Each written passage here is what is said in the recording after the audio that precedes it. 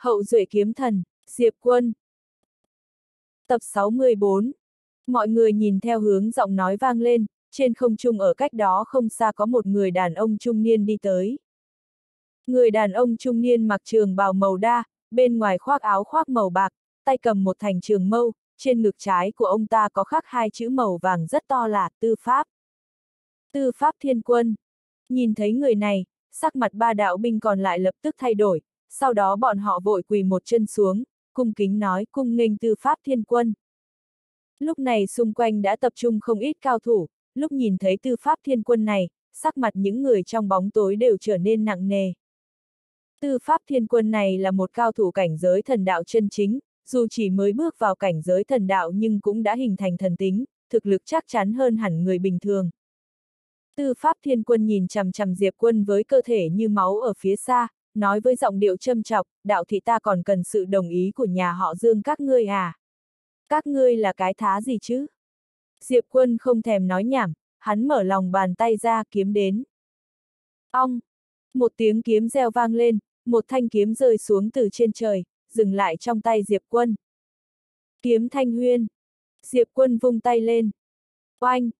Phòng ấn bí ẩn của đạo thị lập tức bị chém vỡ. Thấy cảnh này sắc mặt của tư pháp thiên quân thoáng chốc thay đổi. Sắc mặt của những người trong bóng tối cũng thay đổi. Phòng ấn bị phá rồi. Phải biết rằng những phòng ấn đó là do một vào cao thủ cao cấp cùng nhau lập ra, vậy mà lại bị phá vỡ bằng một kiếm. Đoàn trưởng mục ở cách đó không xa nhìn thấy cảnh này thì sắc mặt lập tức trở nên khó coi, sớm biết thiếu niên này mạnh như thế thì bà ta đã không độc chiếm thứ kia một mình rồi. Vì yêu nghiệt cấp bậc thế này còn có lai lịch không tầm thường, phải lôi kéo mới đúng. Lúc này, bà ta thấy hơi hối hận. Sau khi phá vỡ phòng ấn bằng một kiếm, Diệp quân nhìn về phía tư pháp thiên quân kia, hắn không hề nhiều lời mà biến thành một tia kiếm quang biến mất khỏi chỗ vừa đứng. Lập tức khai chiến. Thấy Diệp quân thẳng thừng ra tay, tư pháp thiên quân híp mắt lại, ông ta cũng không nhiều lời mà lập tức xông về phía trước, đánh một quyền nhằm vào Diệp quân, vào khoảnh khắc đánh ra, một khí thế quyền pháp cổ xưa thoáng chốc bao phủ khắp đạo thị. Kiếm chém đến. Xoẹt. Dưới ánh nhìn của tất cả mọi người, kiếm của Diệp quân đánh tan quyền ấn, thanh kiếm dài chém thẳng về phía tư pháp thiên quân. Sắc mặt tư pháp thiên quân thoáng chốc thay đổi, ông ta vội nâng trường mâu lên đỡ đòn. ầm, um, thanh trường mâu thần bảo vừa tiếp xúc với kiếm thanh huyên đã vỡ tan thành, biến thành bụi phấn, sức mạnh kiếm đạo cường đại đánh bay tư pháp thiên quân, khi dừng lại, ông ta cũng chỉ còn lại mỗi linh hồn, mà lúc này kiếm thanh huyên lại bay tới. Tư pháp thiên quân thầm thấy sợ hãi, ông ta vung tay áo, vô số sức mạnh linh hồn đáng sợ kéo đến. Nhưng những sức mạnh linh hồn này vừa tiếp xúc với kiếm thanh huyên đã như tuyết gặp dầu sôi, thoáng chốc tan biến. Trong nháy mắt, kiếm thanh huyên đã đâm thẳng vào giữa chân mày của tư pháp thiên quân, cố định ông ta lại tại chỗ. Xung quanh hoàn toàn trở nên yên tĩnh. Diệp quân xuất hiện trước mặt tư pháp thiên quân, hắn nhìn chằm chằm ông ta, bây giờ ta sẽ cho ông biết nhà họ Dương của ta là cái thá gì. Dứt lời, hắn búng tay một cái. Oanh! Kiếm thanh huyên hấp thu toàn bộ linh hồn của tư pháp thiên quân. Diệp quân động tâm niệm, kiếm thanh huyên bay ra, trong nháy mắt, đầu của ba tên đạo binh ở phía xa lập tức rơi xuống. Thấy cảnh này, tất cả mọi người trong bóng tối đều vô cùng khiếp sợ. Thiếu niên này muốn liều mạng với đạo thị à? Sau khi giải quyết xong ba người kia, Diệp quân xoay người nhìn đoàn trưởng mục ở phía xa. Lúc này, chân trời ở sau lưng bà ta có những khí thế đáng sợ kéo đến. Cảm nhận được điều này, đoàn trưởng mục lập tức thở phào nhẹ nhõm. Mười mấy người nhanh chóng xuất hiện, dẫn đầu là một ông lão áo đen, ông ta nhìn chằm chằm Diệp quân phía xa, ai cho ngươi lá gan đuổi giết người nhà họ mục chúng ta vậy hả?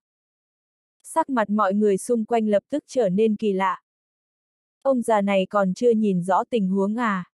Lúc này đoàn trưởng mục vội nói, tam thúc, chúng ta rút lui thước đã. Ông lão áo đen kia hơi không vui, rút lui gì mà rút lui.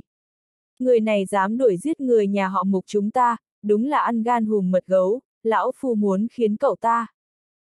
Lúc này, Diệp quân đột nhiên biến mất. Ông lão áo đen kia giận quá hóa cười, một cảnh giới thiên quân nho nhỏ mà cũng dám ra tay, đúng là buồn cười. Dứt lời, ông ta đánh một quyền về phía Diệp quân. Vụt! Kiếm thanh huyên đánh tan quyền ý của ông lão áo đen, sau đó thuận thế đâm vào người ông ta. Ông lão áo đen trợn tròn mắt tỏ vẻ khó tin, ngươi. Diệp quân giơ tay chém ra một kiếm. Đầu của ông lão áo đen lập tức rơi xuống. Máu tươi bắn tung tóe. Giết chết trong nháy mắt. Lại là giết chết trong nháy mắt. Mọi người đang có mặt đều nhìn Diệp quân bằng nét mặt nặng nề chưa từng có. Có người nhanh mắt nhìn về phía kiếm thanh huyên trong tay Diệp quân, thanh kiếm này khá là đáng sợ, đương nhiên thực lực của Diệp quân cũng rất mạnh. Diệp quân cầm kiếm thanh huyên trong tay, có cảm giác tự tin hơn bao giờ hết, cảm giác tự tin này khiến hắn rất thoải mái, nhưng hắn cũng không vì thế mà quên mất bản thân. Hắn biết đây không hoàn toàn là thực lực của riêng hắn, đây là thực lực của kiếm thanh huyên. Nhưng hắn lại phát hiện một điều đó là cảnh giới kiếm đạo của hắn càng cao, uy lực của kiếm thanh huyên này sẽ càng mạnh, đặc biệt là sau khi kết hợp với kiếm ý vô địch của bản thân hắn. Cho nên suy đi nghĩ lại, hắn muốn phát huy nhiều sức mạnh của kiếm thanh huyên hơn thì phải dựa vào chính hắn. Rút lui. Lúc này, đoàn trưởng mục kia dẫn theo mọi người xoay người bỏ chạy.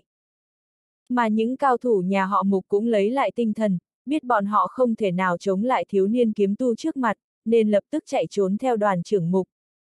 Lúc này đương nhiên Diệp Quân sẽ không bỏ qua cho bọn họ, hắn lập tức di chuyển, biến thành một tia kiếm quang đuổi theo. Vụt!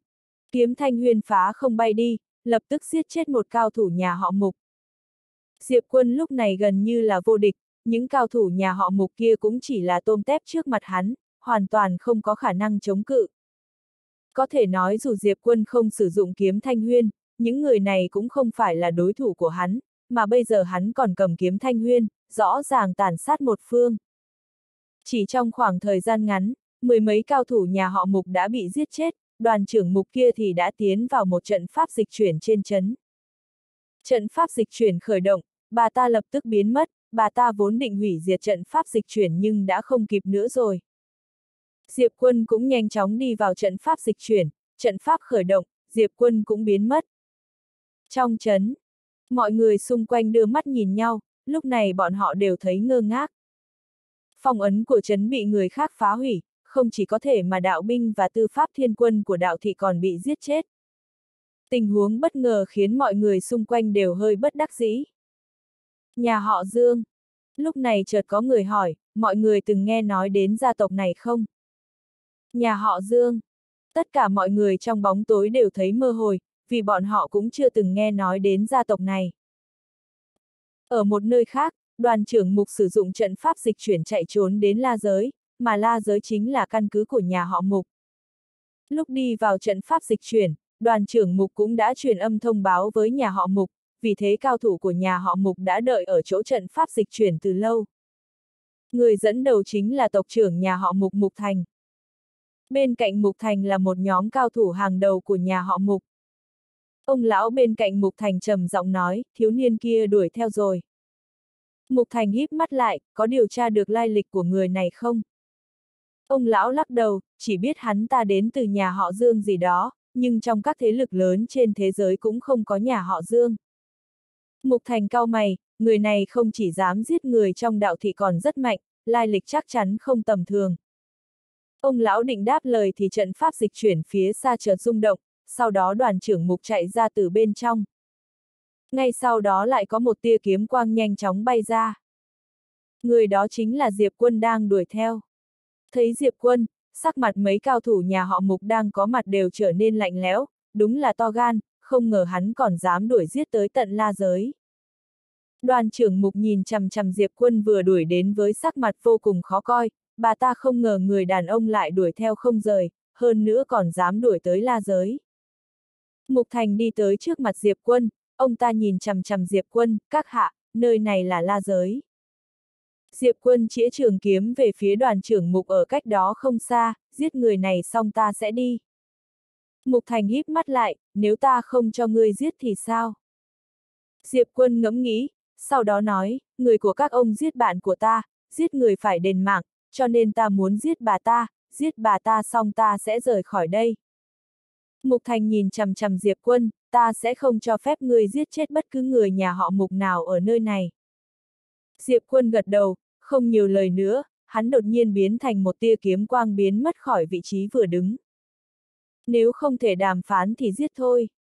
Thấy cảnh này, sắc mặt Mục Thành thoáng chốc trở nên lạnh lẽo, ông ta xoay tay phải, một tia sáng đen thoáng chốc đánh về phía Diệp Quân.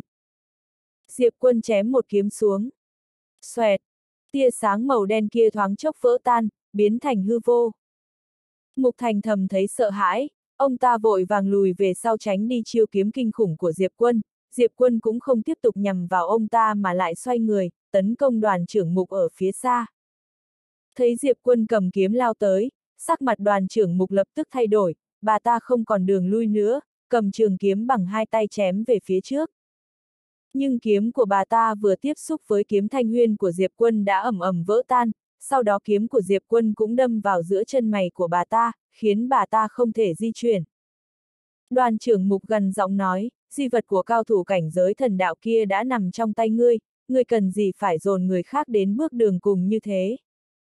Diệp quân chậm rãi đi tới trước mặt đoàn trưởng mục, hắn nhìn chằm chằm bà ta, bà cho rằng ta quan tâm tổ mạch kia à.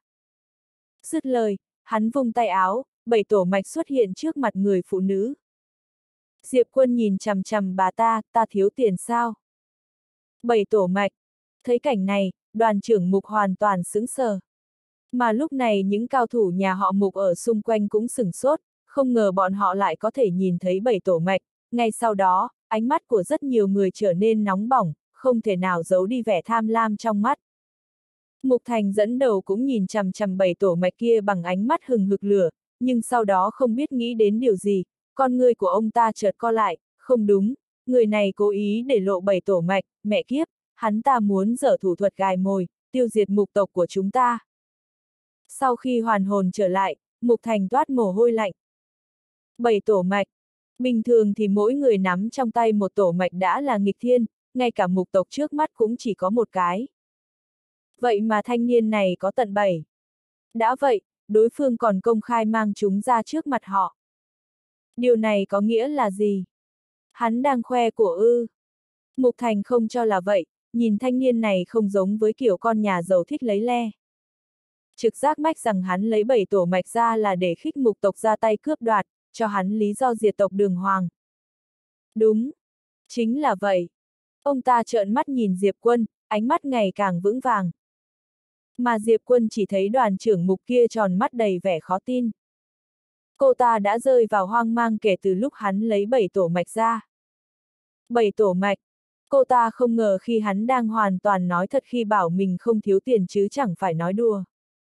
Đoàn trưởng mục hối hận đến xanh cả ruột.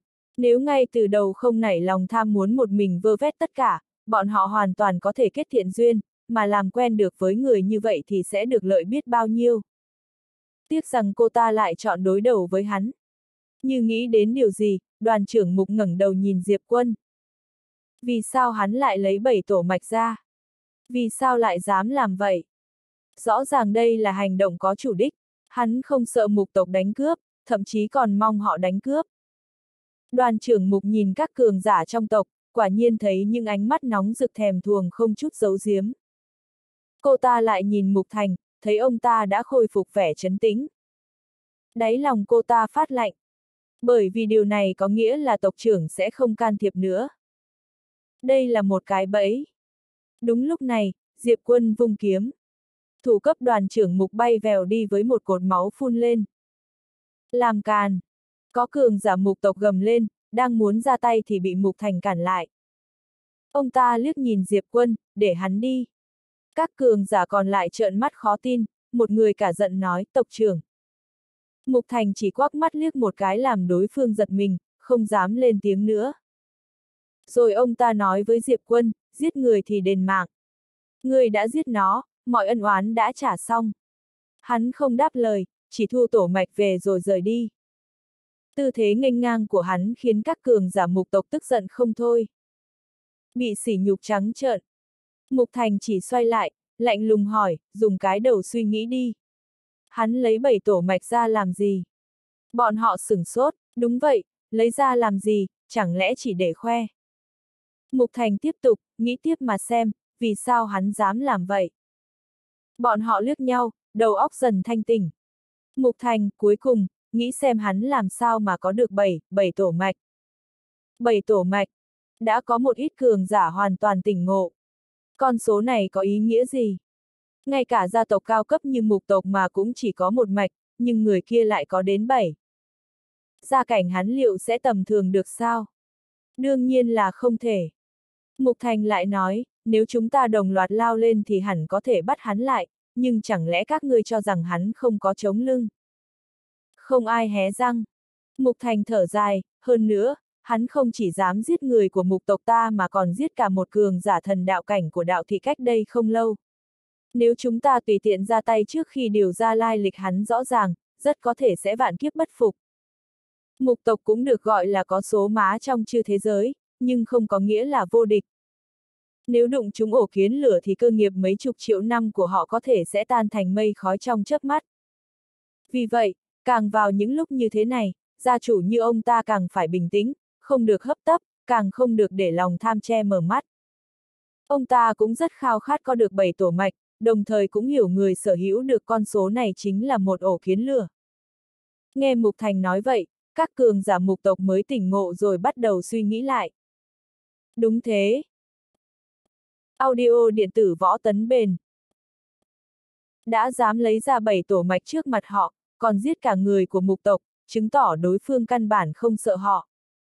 Mục Thành lầm bầm, chúng ta lấy tính chế động, trước tiên điều tra hắn rồi hãy hành động. Một trưởng lão chợt nói, tộc trưởng, ta nuốt không trôi cơn tức này. Mục Thành thờ ơ, không trôi cũng phải trôi. Sắc mặt trưởng lão kia xa sầm. Mục Thành, không chỉ phải nuốt, mà nếu lai lịch của hắn thật sự vượt quá tầm mục tộc, chúng ta còn phải tìm cách xin lỗi. Thế đạo này chính là vậy, kẻ yếu thì không ai thèm nói phải trái, nhưng gặp kẻ mạnh thì đối thủ sẽ cầu xin được nói lý lẽ. Mục Thành rất rõ điều này, vì vậy tuy trong lòng vẫn còn tức tối nhưng vẫn sẽ làm ra lựa chọn thỏa đáng nhất. Rời khỏi la giới rồi, Diệp Quân chỉ có thể trở lại đạo thị, dùng truyền tống trận nơi đó trở về vũ trụ thần nhất. Vừa đặt chân vào đạo thị, hắn là bị một luồng khí tức bí ẩn bao trùm lại. Hắn nắm chặt kiếm thanh huyên trong tay, thong thả quay lại, thấy một ông lão mặc áo vải rách nát ngồi trong một quán rượu bên tay phải, đang phun mây nhả khói. Ông lão đón lấy ánh mắt hắn, phun một luồng khói ra, sang đây nói chuyện không? Diệp quân đi đến rồi ngồi xuống đối diện, đặt kiếm lên bàn, sau đó lại nghĩ gì mà thu kiếm vào. Ông lão bỗng bật cười, thú vị. Hắn hỏi lại, có gì thú vị? Ông lão nhìn hắn, đặt kiếm lên bàn là bản năng, thu kiếm là lựa chọn, tức ngươi không muốn dùng nó để dọa ta. Thanh kiếm này là của trưởng bối trong nhà, nhưng ngươi không muốn dựa dẫm vào danh tiếng của họ, đúng chứ? Diệp quân chậm rãi rót cho mình một chén trà, nhấp lấy một ngụm, ông định nói phải trái hay dùng nắm đấm, ta chiều. Ông lão chỉ nhìn mà không nói. Nếu ra tay, ông ta nắm chắc tám phần có thể giết thanh niên này. Nhưng một cường giả thần đạo cảnh với ba phần thần tính lại đi giết một thằng danh thiên quân cảnh lại chỉ dám chắc tám phần. Nếu truyền ra thế nào cũng bị cười đến thối mũi. Mà ông ta cũng biết, có lẽ cơ hội còn không lên nổi tám phần. Hai phần còn lại, một là biến số, hai là thanh kiếm trong tay đối phương. Sau một hồi trầm tư, ông lão lắc lắc tàn thuốc, vậy thì... Nói phải trái thử. Diệp quân nhìn lên, hay thôi dùng nắm đấm luôn. Ông lão rít vào hai hơi thuốc, cười cười, tự tin vậy à? Diệp quân lắc đầu, không hẳn, chỉ là trông ông không phải kiểu người biết phải trái. Ông lão khạc khói ra, ta biết phải trái hay không còn phải xem đối phương là ai.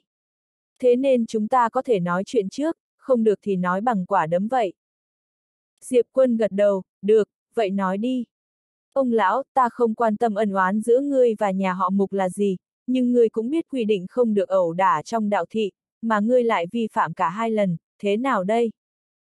Diệp quân, lần đầu tiên là ta giết người nhà họ kỳ vì bị đổ thừa ăn cắp tổ mạch. Nói đúng ra thì là ân oán giữa ta và nhà họ kỳ, không liên quan đến đạo thị, ông thấy đúng chứ? Ông lão trầm ngâm một phen, lần thứ hai. Diệp quân kể lại một năm một mười, không thêm thắt gì. Nghe xong, ông lão lại phun ra một luồng khói, nói vậy là đạo thị của ta bất công vô lý trước nên ngươi mới ra tay giết người. Diệp quân gật đầu, phải. Ông lão lại suy nghĩ hồi lâu, ta đã hiểu rõ mọi chuyện, vậy thì... Chuyển qua nói chuyện bằng quả đấm chứ hả? Diệp quân gật đầu, ta cũng thấy nói chuyện là vô tác dụng. Ông lão lắc đầu ngắt lời hắn, có chứ. Nói có lý hay không là một chuyện, nhưng chấp nhận hay không là chuyện khác. Diệp quân, đổi nơi khác chứ. Ông lão, đương nhiên. Rồi ông ta vung tay, di rời cả hai ra một vùng tinh không. Ông lão tiếp tục hút thuốc, nói, đến đi, để ta xem kiếm của kiếm tu thiên quân cảnh mạnh đến đâu. Thoáng dừng lại một chút, người phải dùng thanh kiếm đặc biệt kia đấy, bằng không thì chẳng có nổi phần thắng đâu. Diệp quân, đương nhiên. Hắn gọi kiếm thanh huyên xuất hiện. Ông lão liếc nhìn nó, kiếm tốt. Diệp quân không nói gì thêm, bước tới trước, kiếm quang lóe lên. Gặp mẹ ta mà nói. Chiến. Nhát kiếm này của Diệp quân không sử dụng bất kỳ kiếm kỹ nào, chỉ là một kiếm bình thường, thế nhưng cũng đã có uy lực hủy thiên diệt địa. Cảnh giới kiếm đạo bây giờ của hắn đã khác trước đây, kiếm ý vô địch hiện tại cộng thêm kiếm thanh huyên, uy lực bộc phát ra đến cảnh giới thần đạo cũng không dám coi thường. Nhìn thấy kiếm này của Diệp Quân, ông lão đột nhiên cầm điếu thuốc gõ nhẹ về phía trước. Vù!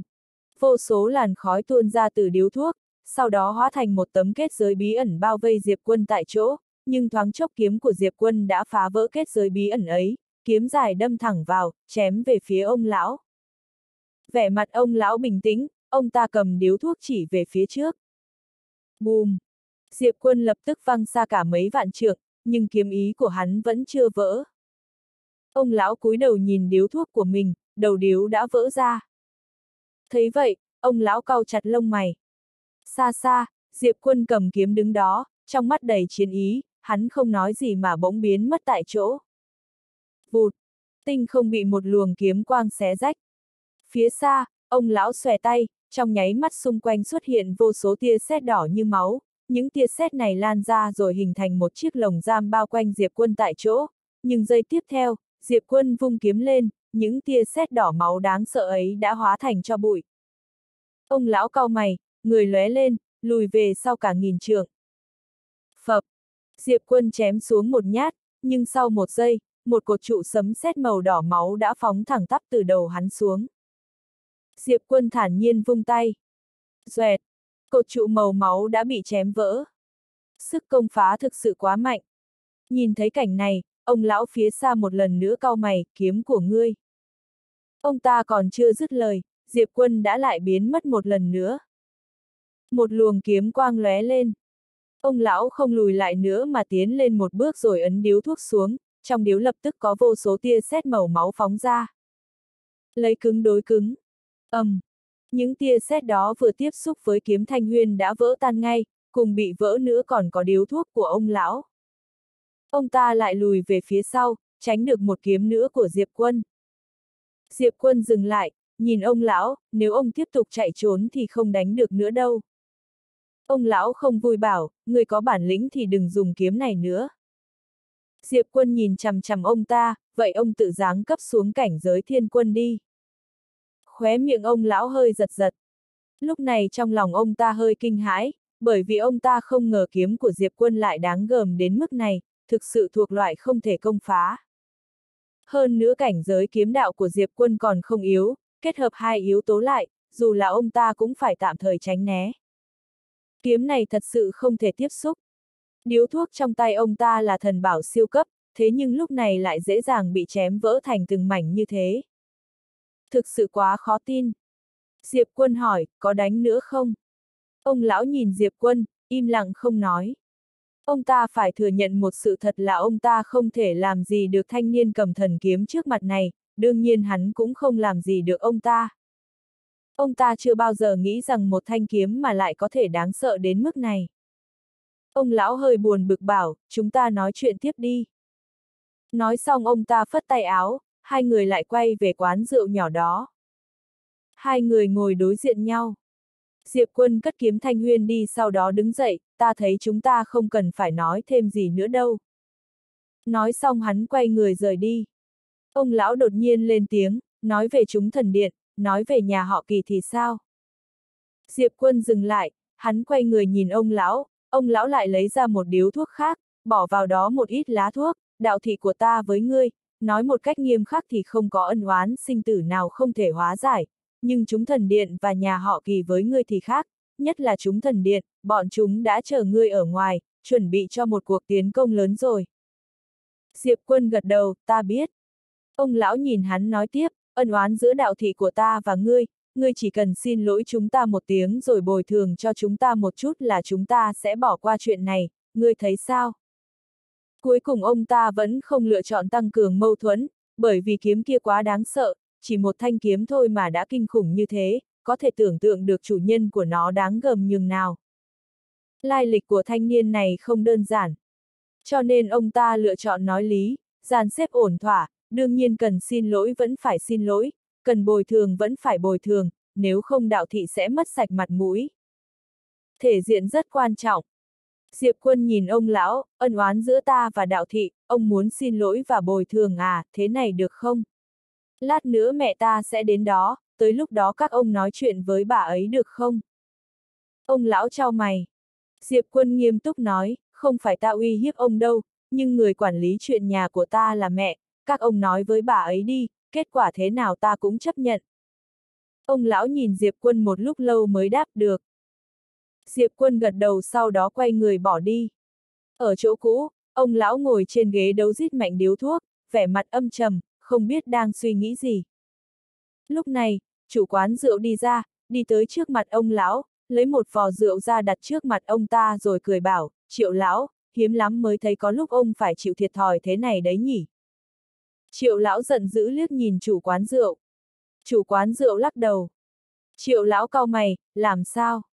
Chủ quán rượu nói, ta biết ông không cam tâm, nhưng ta khuyên ông hãy bỏ qua đi.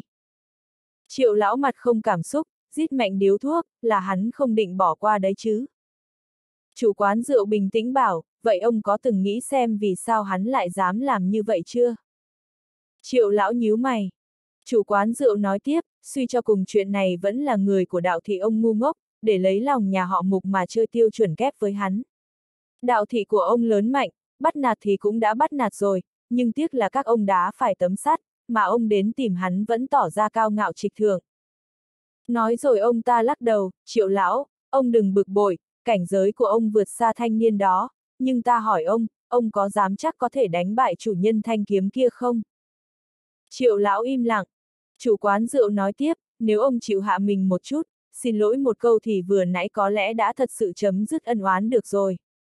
Nhưng hiện giờ thanh niên đó bảo ông đi nói chuyện với người nhà hắn, ý hắn rất rõ ràng, không thể bỏ qua chuyện này. Triệu lão gõ điếu thuốc, sau đó cười khẩy một tiếng, trong các thế lực lớn ở thế gian này không có nhà họ Dương. Chủ quán rượu bảo, đây mới là điều đáng sợ nhất.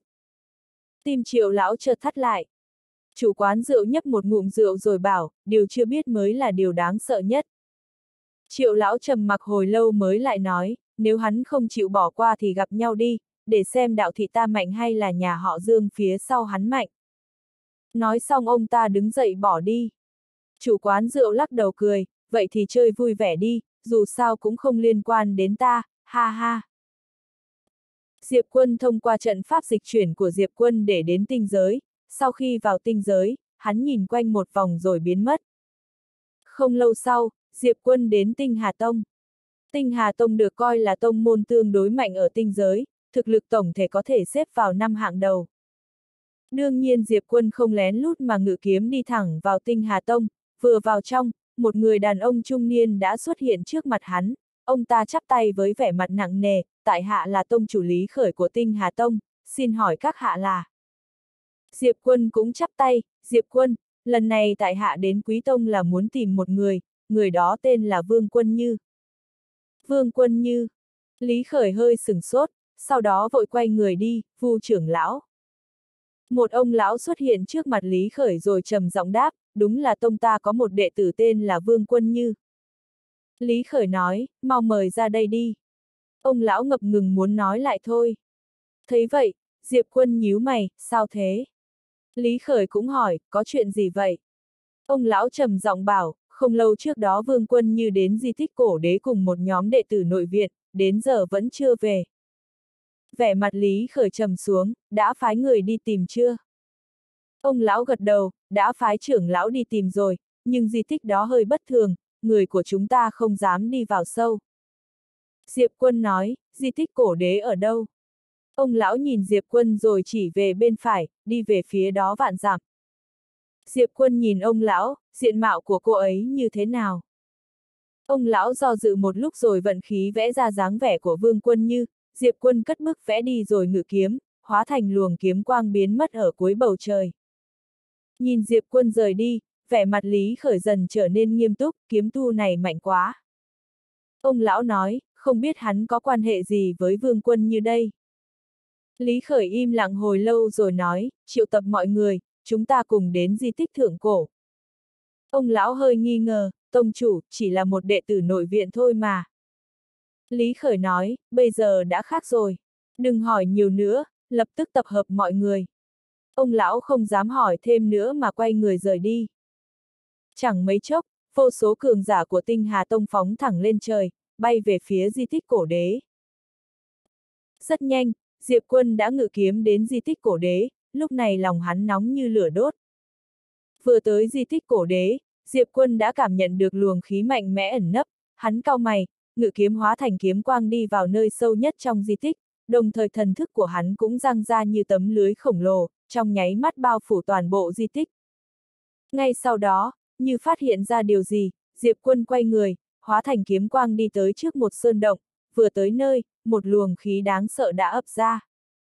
Diệp Quân khẽ nhíu mày, chém ra một kiếm. Phụt! Luồng khí ấy đã bị chém vỡ. Hửm! Trong hang động vang lên một âm thanh tức giận. Vừa mới dứt lời, một tàn ảnh đã bay tới. Diệp Quân giơ tay chém ra một kiếm ầm, um, tàn ảnh kia lập tức bị chém vỡ, sau đó một bóng người liên tục lùi lại. Diệp Quân nhìn vào trong hang núi, ở cuối tầm mắt, hắn nhìn thấy một cô gái mặc váy đen đang lạnh lùng nhìn chằm chằm mình, ngươi là ai? Dứt lời, cô ta nhìn thoáng qua kiếm thanh huyên trong tay Diệp Quân. Diệp Quân nói, ta đến đây tìm người, cô ta tên là Vương Quân Như. Nghe thấy lời của Diệp Quân, cô gái nhất thời cao mày, chưa nghe thấy bao giờ. Diệp Quân xa sầm mặt. Cô gái chợt chỉ sang bên phải, trước đây không lâu có một nhóm người đi vào vực sâu kia, bên trong có thể có người mà ngươi muốn tìm, nhưng có lẽ bọn họ đã lành ít dữ nhiều rồi. Diệp quân lập tức xoay người, biến thành một tia kiếm quang bay về phía vực sâu. Cô gái nhìn kiếm quang biến mất ở phía xa, cô ta thoáng do dự, sau đó cũng đi theo. Diệp quân biến thành kiếm quang nhanh chóng lướt qua chân trời, cuối cùng lao thẳng xuống đáy của vực sâu kia, dưới đáy vực sâu có một tòa địa cung, trước địa cung còn có mấy cái xác. Thấy cảnh này, sắc mặt Diệp quân lập tức trở nên u ám, vì quần áo mà mấy cái xác này mặc chính là quần áo tông môn của tinh Hà Tông. Diệp quân ngẩng đầu nhìn về phía chỗ sâu trong địa cung, hắn cảm nhận được một hơi thở mờ ảo bên trong đó. Lúc này, cô gái trước đó xuất hiện sau lưng Diệp quân. Cô gái nhìn thoáng qua Diệp quân, đang định lên tiếng thì lúc này Diệp quân đã đi về phía cửa địa cung. Cô gái trầm giọng nói, trên cửa địa cung có phong ấn cổ đế để lại, hoàn toàn không thể phá. Lúc này, Diệp quân giơ tay chém xuống một kiếm. Xoẹt! Một tia hắc quang lập tức vỡ tan, phong ấn biến mất. Cô gái váy đen ngây người. Diệp quân xông vào trong địa cung, thần thức của hắn quét vào chỗ sâu của địa cung, sau đó hắn ngự kiểm bay thẳng về phía đó. Chẳng mấy chốc, hắn cau mày, sâu trong địa cung kia có một tế đàn, trên tế đàn còn có một cái quan tài, xung quanh quan tài có linh khí và máu tươi cuồn cuộn không ngừng kéo tới. Lúc này cô gái váy đen bên cạnh Diệp Quân kinh ngạc nói, tế đàn trùng sinh, không ngờ cổ đế này lại muốn trùng sinh. Diệp Quân chậm rãi nhắm mắt lại, sau đó hắn vận khí hét to, vương quân như. Oanh!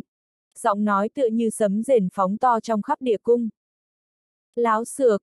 Lúc này, trong quan tài đột nhiên vang lên một giọng nói, sau đó, một người đàn ông trung niên mặc long bào chậm rãi bay ra từ bên trong. Nét mặt của cô gái váy đen bên cạnh Diệp Quân lập tức trở nên vô cùng nặng nề cổ đế. Cổ đế nhìn chằm chằm Diệp Quân với vẻ giận dữ, ngươi là người phương nào mà dám đến làm phiền bổn đế. Diệp Quân mở lòng bàn tay, một bức tranh vẽ xuất hiện trong tay hắn, đó là bức tranh vẽ vương quân như, người này đang ở đâu. Cổ đế nhìn chằm chằm Diệp Quân, cười khinh thường, đã bị bổn đế hiến tế rồi. Sắc mặt Diệp Quân thoáng chốc trở nên dữ tợn, hắn lập tức hóa thành một tia kiếm quang biến mất khỏi chỗ vừa đứng. Cổ đế hừ lạnh, lập tức đánh ra một quyền. ầm, um, một vùng kiếm quang xuất hiện, cổ đế bị đánh bay ra xa, vừa mới dừng lại nắm đấm của ông ta đã nứt ra làm vô số máu đen chảy xuống. Cổ đế nhìn Diệp Quân phía xa với vẻ khó tin, sao có thể cơ thể này của ta là long thân kim cang, sao ngươi có thể phá vỡ nó được? Lúc này, Diệp Quân biến thành một tia kiếm quang đánh về phía ông ta. Thấy cảnh này, sắc mặt cổ đế lập tức thay đổi, lần này ông ta không chọn đối mặt với kiếm của Diệp Quân mà tránh về phía sau, lùi lại nghìn trượng, kéo giãn khoảng cách với Diệp Quân. Sau khi chiêu kiếm của mình đâm vào không khí, Diệp Quân đang muốn đuổi theo một lần nữa thì có một giọng nói vang lên từ phía sau lưng của hắn, ngươi, tìm ta à? Diệp Quân dừng lại, hắn xoay người nhìn về phía xa, nơi đó có một cô gái mặc váy dài màu xanh nhạt đang đứng, tay phải cầm một thanh kiếm, cô ta đang nghi ngờ nhìn chằm chằm hắn. Vương Quân Như Bên cạnh Vương Quân Như còn có năm đệ tử của Tinh Hải Tông, có nam có nữ.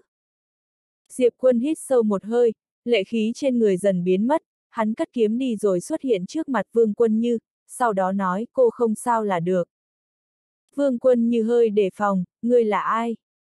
Diệp Quân đảo mắt nhìn xung quanh, đổi sang nơi khác nói chuyện đi. Vương Quân Như nhìn Diệp Quân, sau đó gật đầu.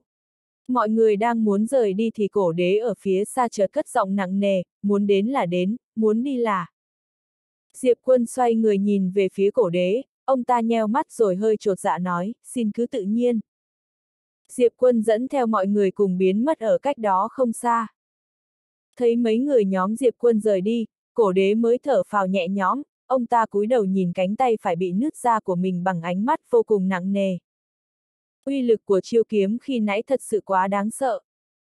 Tinh giới này xuất hiện một kiếm tu mạnh đến thế từ bao giờ? Trong mắt cổ đế tràn đầy sự thắc mắc. Diệp quân dẫn vương quân như đi tới một đỉnh núi ở bên ngoài, mấy người nhóm vương quân như vẫn còn rất đề phòng với hắn. Diệp quân xoay người nhìn mọi người sau lưng vương quân như, sau đó nói, ta muốn nói chuyện riêng với cô ta một lúc. Không được. Lúc này, một người đàn ông áo trắng sau lưng vương quân như vội vàng bước ra, hắn ta nhìn chằm chằm Diệp quân, các hạ có việc gì cứ nói thẳng, chúng ta đều là bạn tốt của quân như. Diệp quân nhìn về phía vương quân như, thấy cô ta vẫn rất đề phòng và nghi ngờ thì giải thích ta là bạn của cha cô. Vương quân như thoáng ngây người. Diệp quân lại nói, ta muốn nói chuyện riêng với cô một lát. Vương quân như quay đầu nhìn mọi người sau lưng mình, ta nói chuyện riêng với hắn một lát. Người đàn ông áo trắng trầm giọng nói, quân như, người này không rõ lai lịch. Vương quân như lắc đầu, nếu hắn muốn hại chúng ta thì hoàn toàn không cần vòng vo như thế. Người có thể chém lui cổ đế bằng một kiếm đương nhiên là bọn họ không thể chống lại được. Người đàn ông còn muốn nói thêm thì vương quân như lại nói, mục dịch sư huynh, ta muốn nói chuyện riêng với hắn. Người đàn ông tên mục dịch im lặng một lúc, sau đó nhìn về phía Diệp quân, chúng ta là đệ tử của tinh Hà Tông, tốt nhất các hạ đừng làm bậy, nếu không. Được rồi. Lúc này, một cô gái váy xanh bên cạnh mục Dịch chợt nói, mục Dịch, huynh đừng xen vào chuyện của người khác nữa. Nếu kiếm tu tiểu ca ca này thật sự muốn giết chúng ta thì có 10 tinh Hà Tông cũng không làm gì được. Dứt lời, cô ta cười nói với Diệp Quân, có đúng không? Diệp Quân nhìn về phía cô gái váy xanh, cô ta cũng còn khá trẻ, khoảng hai mươi mấy tuổi, trông rất hoạt bát. Diệp Quân cười nói, ta không có ác ý. Cô gái gật đầu, có thể nhìn ra được. Dứt lời, cô ta nhìn thoáng qua Mộc Dịch đang mang nét mặt hơi khó coi, sau đó nói, đi thôi. Mộc Dịch nhìn thoáng qua Vương Quân Như, Vương Quân Như không nói gì, trong mắt hắn ta lóe lên vẻ thất vọng, sau đó đi sang một bên với mấy người nhóm cô gái váy xanh. Vương Quân Như nhìn về phía Diệp Quân, ông ấy. Diệp Quân hơi do dự rồi nói, chết rồi. Thân thể Vương Quân Như cứng đờ. Diệp Quân kể lại đầu đuôi câu chuyện một lượt, sau khi nghe xong lời Diệp Quân nói, Vương Quân Như im lặng cúi đầu, mãi không nói một câu. Diệp Quân lấy một chiếc nhẫn không gian ra đưa cho Vương Quân Như, sau đó nói, đây là di vật của cao thủ cảnh giới thần đạo kia, ta có xem qua, bên trong có một tổ mạch, ngoài ra còn có một phần truyền thừa và một ít thần bảo, truyền thừa rất sạch sẽ, cô có thể giữ lại mà dùng. Vương quân như không nhận lấy nhẫn không gian mà chỉ cúi đầu không nói một lời. Diệp quân thoáng do dự, sau đó khẽ thở dài, cũng không biết nên nói cái gì. Vương quân như đột nhiên khẽ nói, ông ấy còn nói gì không? Diệp quân nhẹ giọng nói, Vương Huynh nói sau này cô chỉ có thể tự chăm sóc bản thân mà thôi. Nước mắt trong mắt Vương quân như lập tức tuôn rơi. Diệp quân lại thở dài một lần nữa, tâm trạng vô cùng phức tạp. Lúc này, Vương quân như xoay người nhìn chân trời phía xa, run rẩy nói, cảm ơn các hạ đã trả thù cho cha ta. Diệp quân nhẹ giọng nói, xin lỗi. Vương quân như lắc đầu, việc này không thể trách người khác được. Diệp quân đưa nhẫn không gian trong tay cho vương quân như, nhẫn không gian này. Nhưng vương quân như lại nói, các hạ giữ nó đi. Diệp quân hơi nghi ngờ. Vương quân như lắc đầu, thực lực của ta yếu kém, giữ tổ mạch trên người cũng chỉ là một tai họa với ta. Diệp quân hơi do dự, sau đó hỏi, cô có muốn đến một nơi khác để phát triển không? Vương quân như xoay người nhìn về phía Diệp quân, đến một nơi khác. Diệp quân gật đầu, nhà ta có một thư viện, cô có thể đến thư viện của nhà ta để phát triển, cô yên tâm ở nơi đó cô sẽ rất an toàn. Vương quân như hơi do dự. Diệp quân nói, cô ở lại đây ta vẫn thấy không yên tâm cho lắm, nên là đi theo ta đi. Vương quân như cúi đầu không nói gì. Diệp quân tiếp tục, cô không cần phải lo lắng đến những vấn đề khác, mẹ ta là một con người rất tốt, cô đến chỗ bà ấy sẽ không có gì khó chịu cả. Vương quân như vẫn hơi chần chừ, đi đến chỗ người khác khá giống như ăn nhờ ở đậu, cô ta vẫn hơi băn khoăn. Diệp quân ngẫm nghĩ rồi nói, thế này đi, cô giúp ta một chuyện. Vương quân như nhìn về phía Diệp quân, Diệp quân cười nói, ta có mấy đệ tử, chúng tu luyện trong tháp của ta, ta muốn cho chúng đi tới thư viện của nhà ta. Nhưng chúng đều còn rất nhỏ, nên cô giúp ta một chuyện là dẫn chúng đi tìm mẹ ta, cô có thể ở lại đó quan sát, nếu cảm thấy thư viện nhà ta phù hợp thì ở lại đó tu luyện, nếu cảm thấy không thích nơi đó cô có thể rời đi bất cứ lúc nào, cô thấy sao? Vương quân như thoáng do dự rồi gật đầu, được, có điều tinh Hà Tông. Diệp quân mỉm cười, chuyện ở tinh Hà Tông cứ để ta xử lý. Vương quân như nhìn thoáng qua Diệp quân rồi gật đầu, được. Diệp quân đưa nhẫn không gian cho vương quân như, nhận lấy đi. Vương quân như ngẫm nghĩ rồi nói, tổ mạch này cũng có một nửa. Diệp quân lắc đầu, đây là do cha cô liều mạng giành được, nên nó chính là của cô. Vương quân như hơi ngạc nhiên nhìn Diệp quân, thậm chí ngay cả tổ mạch mà người đàn ông này cũng không cần. Diệp quân đặt nhẫn không gian vào tay vương quân như, đang định nói tiếp thì chân trời đột nhiên xuất hiện mấy chục hơi thở mạnh mẽ. Chính là đám người lý khởi của tinh Hà Tông. Lý Khởi dẫn theo một nhóm cao thủ của tinh Hà Tông xuất hiện trước mặt Diệp Quân và Vương Quân Như, Lý Khởi nhìn thoáng qua Vương Quân Như, sau đó cười nói với Diệp Quân, Diệp công tử. Vương Quân Như vội cúi chào, tông chủ. Lý Khởi mỉm cười, không cần đa lễ. Diệp Quân nhìn về phía Lý Khởi, Lý tông chủ, ta muốn dẫn Quân Như rời khỏi đây, không biết quý tông môn có thể châm trước không? Dứt lời, hắn mở lòng bàn tay, 50 tổ nguyên chậm rãi bay đến trước mặt Lý Khởi. 50 tổ nguyên. Thấy cảnh này, sắc mặt mấy cao thủ bên cạnh Lý Khởi đều thay đổi. Phải biết rằng tinh Hà Tông không hề có tổ mạch, vì thế tổ nguyên là một thứ rất quý giá với bọn họ. Lý Khởi cũng hơi kinh ngạc, thiếu niên niên này ra tay cực kỳ rộng rãi, dù rất động lòng nhưng ông ta cũng không lập tức nhận lấy mà hỏi, Diệp công tử, xin mạn phép hỏi một câu, cậu muốn đưa quân như đi là vì. Diệp quân nói, quân như đã đồng ý rồi. Lý Khởi nhìn về phía vương quân như, vương quân như hơi do dự, sau đó gật đầu. thấy thế, Lý Khởi cũng không nói gì thêm, ông ta nhận lấy 50 tổ nguyên kia, nhưng sau đó lại đưa cho vương quân như, quân như, cái này cho cô. Vương quân như ngạc nhiên, tông chủ. Lý Khởi mỉm cười nói, sao ta có thể mặt dày nhận tổ nguyên này được.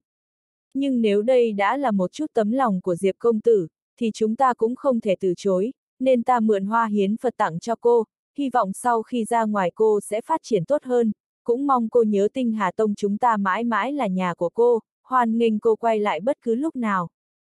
Tặng tổ nguyên. Hành động của Lý Khởi khiến mọi người xung quanh đều khiếp sợ, đặc biệt là nhóm cao thủ tinh Hà Tông sau lưng ông ta, rất nhiều người đều không nhịn được muốn tiến lên ngăn cản, phải biết rằng đây chính là tổ nguyên đấy. 50 tổ nguyên có thể nói là vô cùng quý giá với tinh Hà Tông. Diệp quân cũng hơi bất ngờ, hắn nhìn thoáng qua Lý Khởi, không nói gì. Vương quân như đang đứng trước mặt Lý Khởi muốn từ chối, nhưng ông ta đã nhét vào tay Vương quân như, dịu dàng nói, nhận lấy đi. Vương quân như trần trừ một lát rồi nhìn về phía Diệp quân, Diệp quân gật nhẹ đầu. Thấy hắn gật đầu, cô ta mới chịu nhận lấy tổ nguyên. Thấy vương quân như đã nhận lấy tổ nguyên, Lý Khởi nở nụ cười, sau đó ông ta nhìn về phía Diệp quân, nghiêm túc nói, Diệp công tử, nếu quân như không sao thì ta cũng yên tâm, chúng ta hẹn gặp lại. Dứt lời, ông ta dẫn theo cao thủ của tinh Hà Tông xoay người rời đi. Vương quân như nhìn nhóm cao thủ tinh Hà Tông đang đi xa với nét mặt phức tạp. Diệp quân đi tới bên cạnh vương quân như, sau đó nói, chúng ta đi thôi. Vương quân như gật nhẹ đầu rồi rời đi theo Diệp quân. Ở bên kia, trên đường Lý khởi dẫn mọi người trở về tinh Hà Tông, một ông lão thắc mắc, tông chủ, vì sao ngài lại muốn tặng tổ nguyên cho đệ tử nội viện kia? Các trưởng lão khác cũng đồng loạt nhìn về phía Lý Khởi, tràn đầy nghi ngờ và khó hiểu. 50 tổ nguyên. Đây thật sự là một khối tài sản lớn với tinh Hà Tông bọn họ.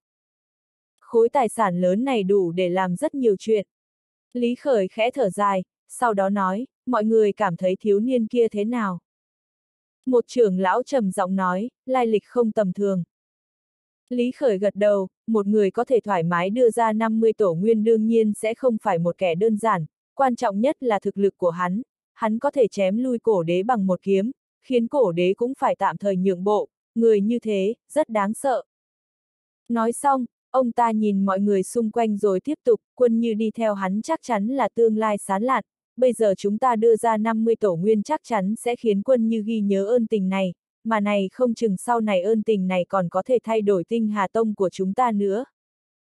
Trưởng lão kia hơi trần trừ rồi nói, nếu cô ta không nhớ đến ơn tình này thì chúng ta. Lý Khởi cười nói, cô ta chịu nhớ ơn đương nhiên là tốt, nhưng nếu không nhớ thì cũng chẳng sao, dù sao cô ta cũng không nợ gì chúng ta, mộ trưởng lão, tính cách của ông nên thay đổi đi. Dứt lời, ông ta biến thành một tia sáng biến mất ở chân trời xa xôi. Ở vị trí ban đầu, trưởng lão kia khẽ thở dài, tông chủ này cái gì cũng tốt, chỉ có điều là quá tốt bụng và khách quan. Ơn tình. Ông ta cảm thấy cầm chắc 50 tổ nguyên trong tay vẫn tốt hơn một tương lai không chắc chắn. Trưởng lão khẽ thở dài, cùng mọi người biến mất ở cuối chân trời. Ở một nơi khác, trong địa cung, dưới sự giúp đỡ của tế đàn bí ẩn, thân thể của cổ đế đã khôi phục lại, sau khi hồi phục thân thể, ông ta ngẩng đầu nhìn về phía chân trời với nét mặt hơi nặng nề. Ông ta không ngờ kiếm của thiếu niên trước đó lại đáng sợ đến thế, có thể chém vỡ cơ thể ông ta. Nhớ tới chiêu kiếm đó, bây giờ ông ta vẫn còn thấy sợ hãi.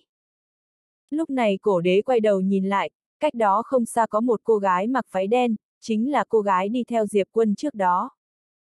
Cô gái váy đen trầm giọng hỏi, cổ đế, có muốn hợp tác không? Cổ đế cười khẩy, người có tư cách gì hợp tác với ta? Cô gái váy đen bình tĩnh nói, ta là người của thiếu niên kiếm tu kia. Cổ đế cau mày. Cô gái váy đen nhìn chằm chằm cổ đế, hợp tác cùng có lợi. Cổ đế im lặng một lúc lâu rồi nói, thiếu niên kia có lai lịch gì?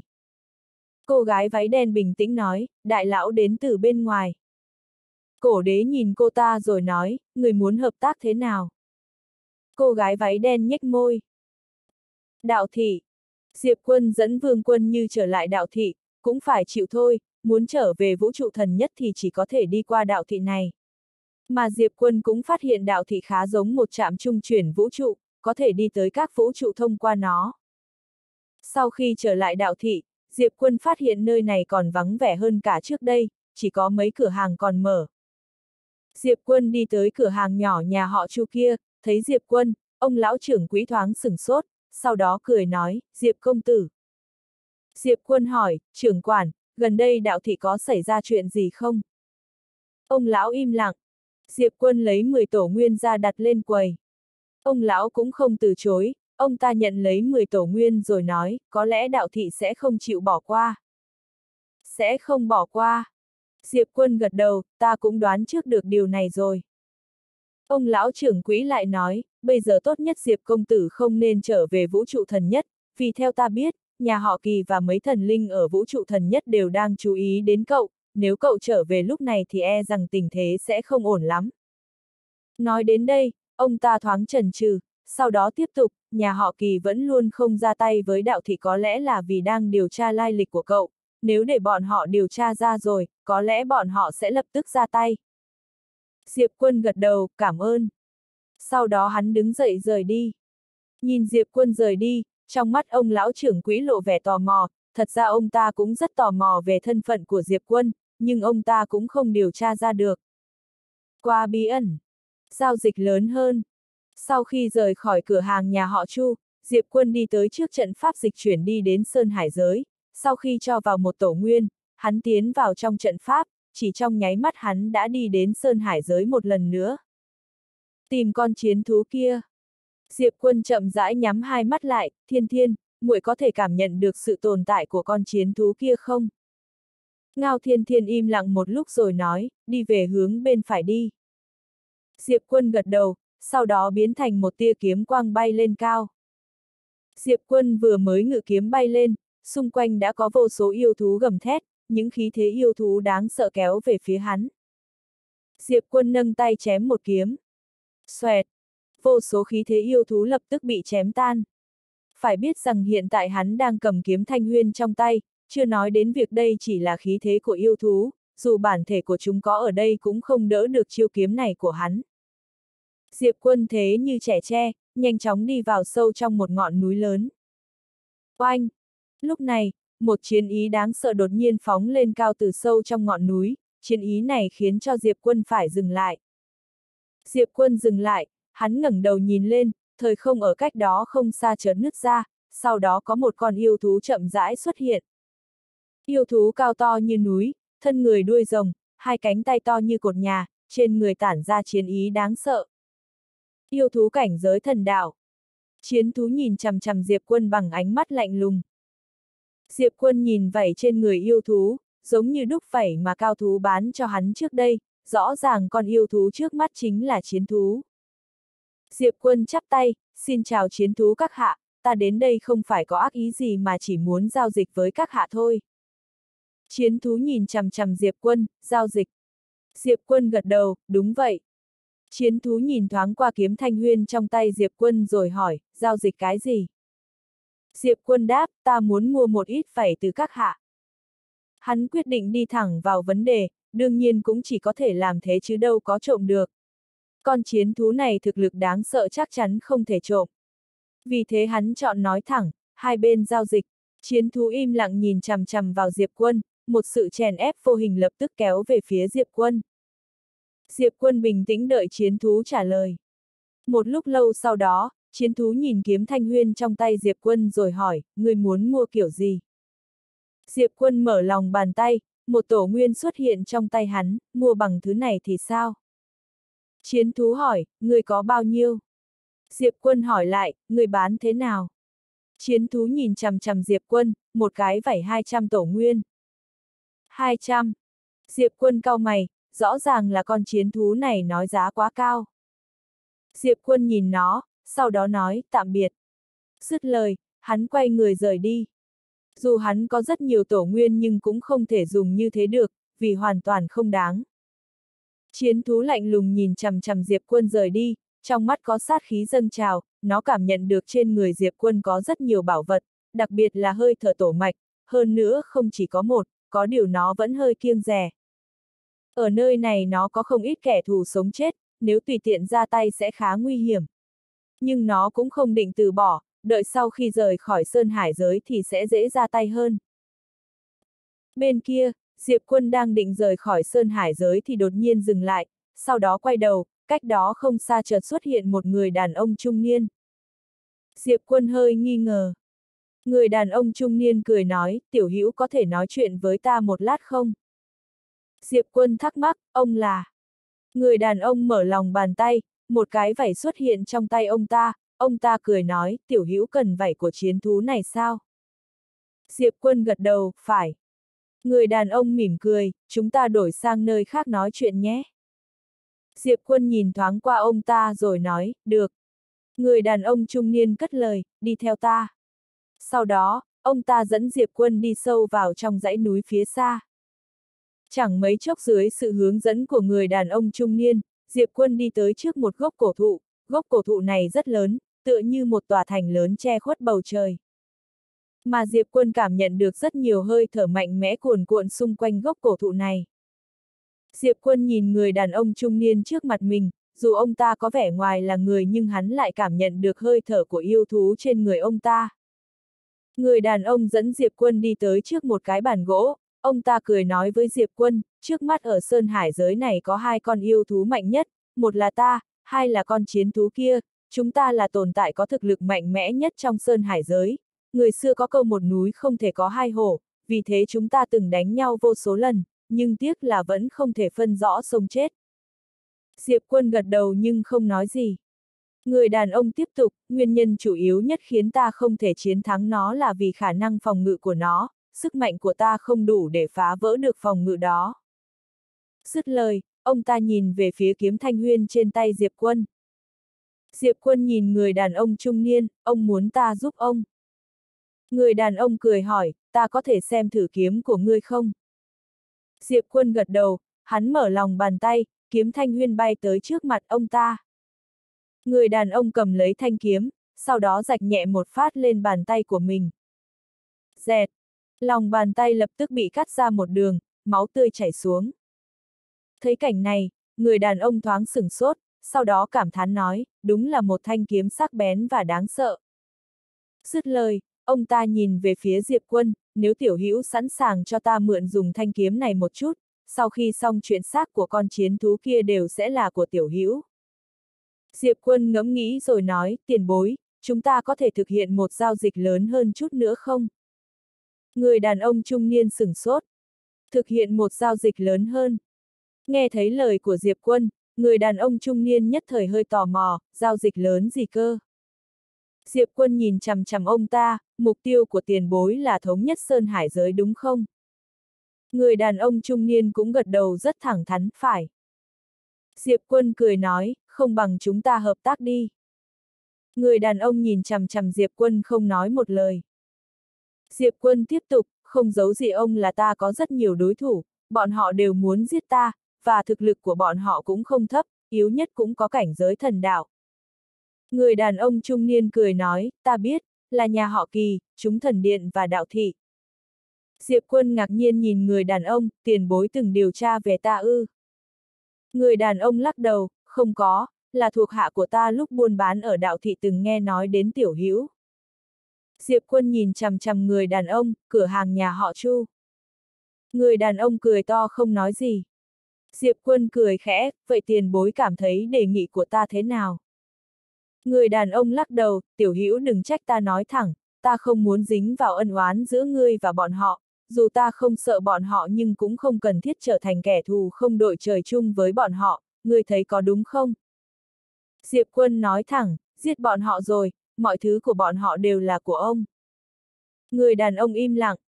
Diệp quân đang định nói tiếp thì ông ta lại nói, hợp tác với tiểu hữu cũng được thôi, nhưng tiểu hữu phải giúp ta giải quyết hai người, nếu ngươi có thể giải quyết thì ta sẽ hợp tác với ngươi. Diệp quân tò mò, là ai? Người đàn ông trầm giọng nói, là hai tiểu tử đi vào từ bên ngoài trước đây không lâu, một con linh tổ, một con ác thú, hiện tại bọn họ là nhân tố không xác định ớn nhất. Diệp quân đứng bật dậy, ngạc nhiên nói cái gì? Linh tổ và ác thú. Người đàn ông trung niên nhìn về phía Diệp quân, phải. Diệp quân trầm giọng nói, có phải là một cô bé không? Người đàn ông hơi thắc mắc, người quen à? Diệp quân chớp mắt, sau đó nghiêm túc nói, không tính là quen, nhưng họ vẫn sẽ nể mặt ta. Người đàn ông nhất thời thấy nghi ngờ.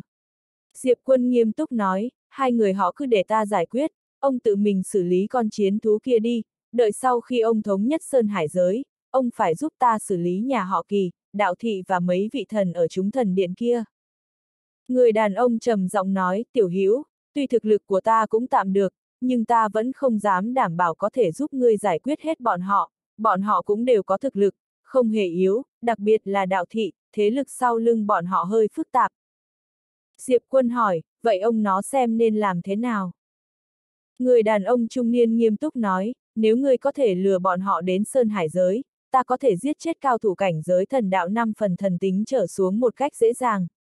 Còn nếu ở bên ngoài thì ta chỉ có thể giúp ngươi ngăn cản một cao thủ cảnh giới thần đạo năm phần thần tính trở xuống mà thôi, đây là giới hạn của ta. Diệp quân im lặng suy nghĩ một lát rồi đồng ý, được.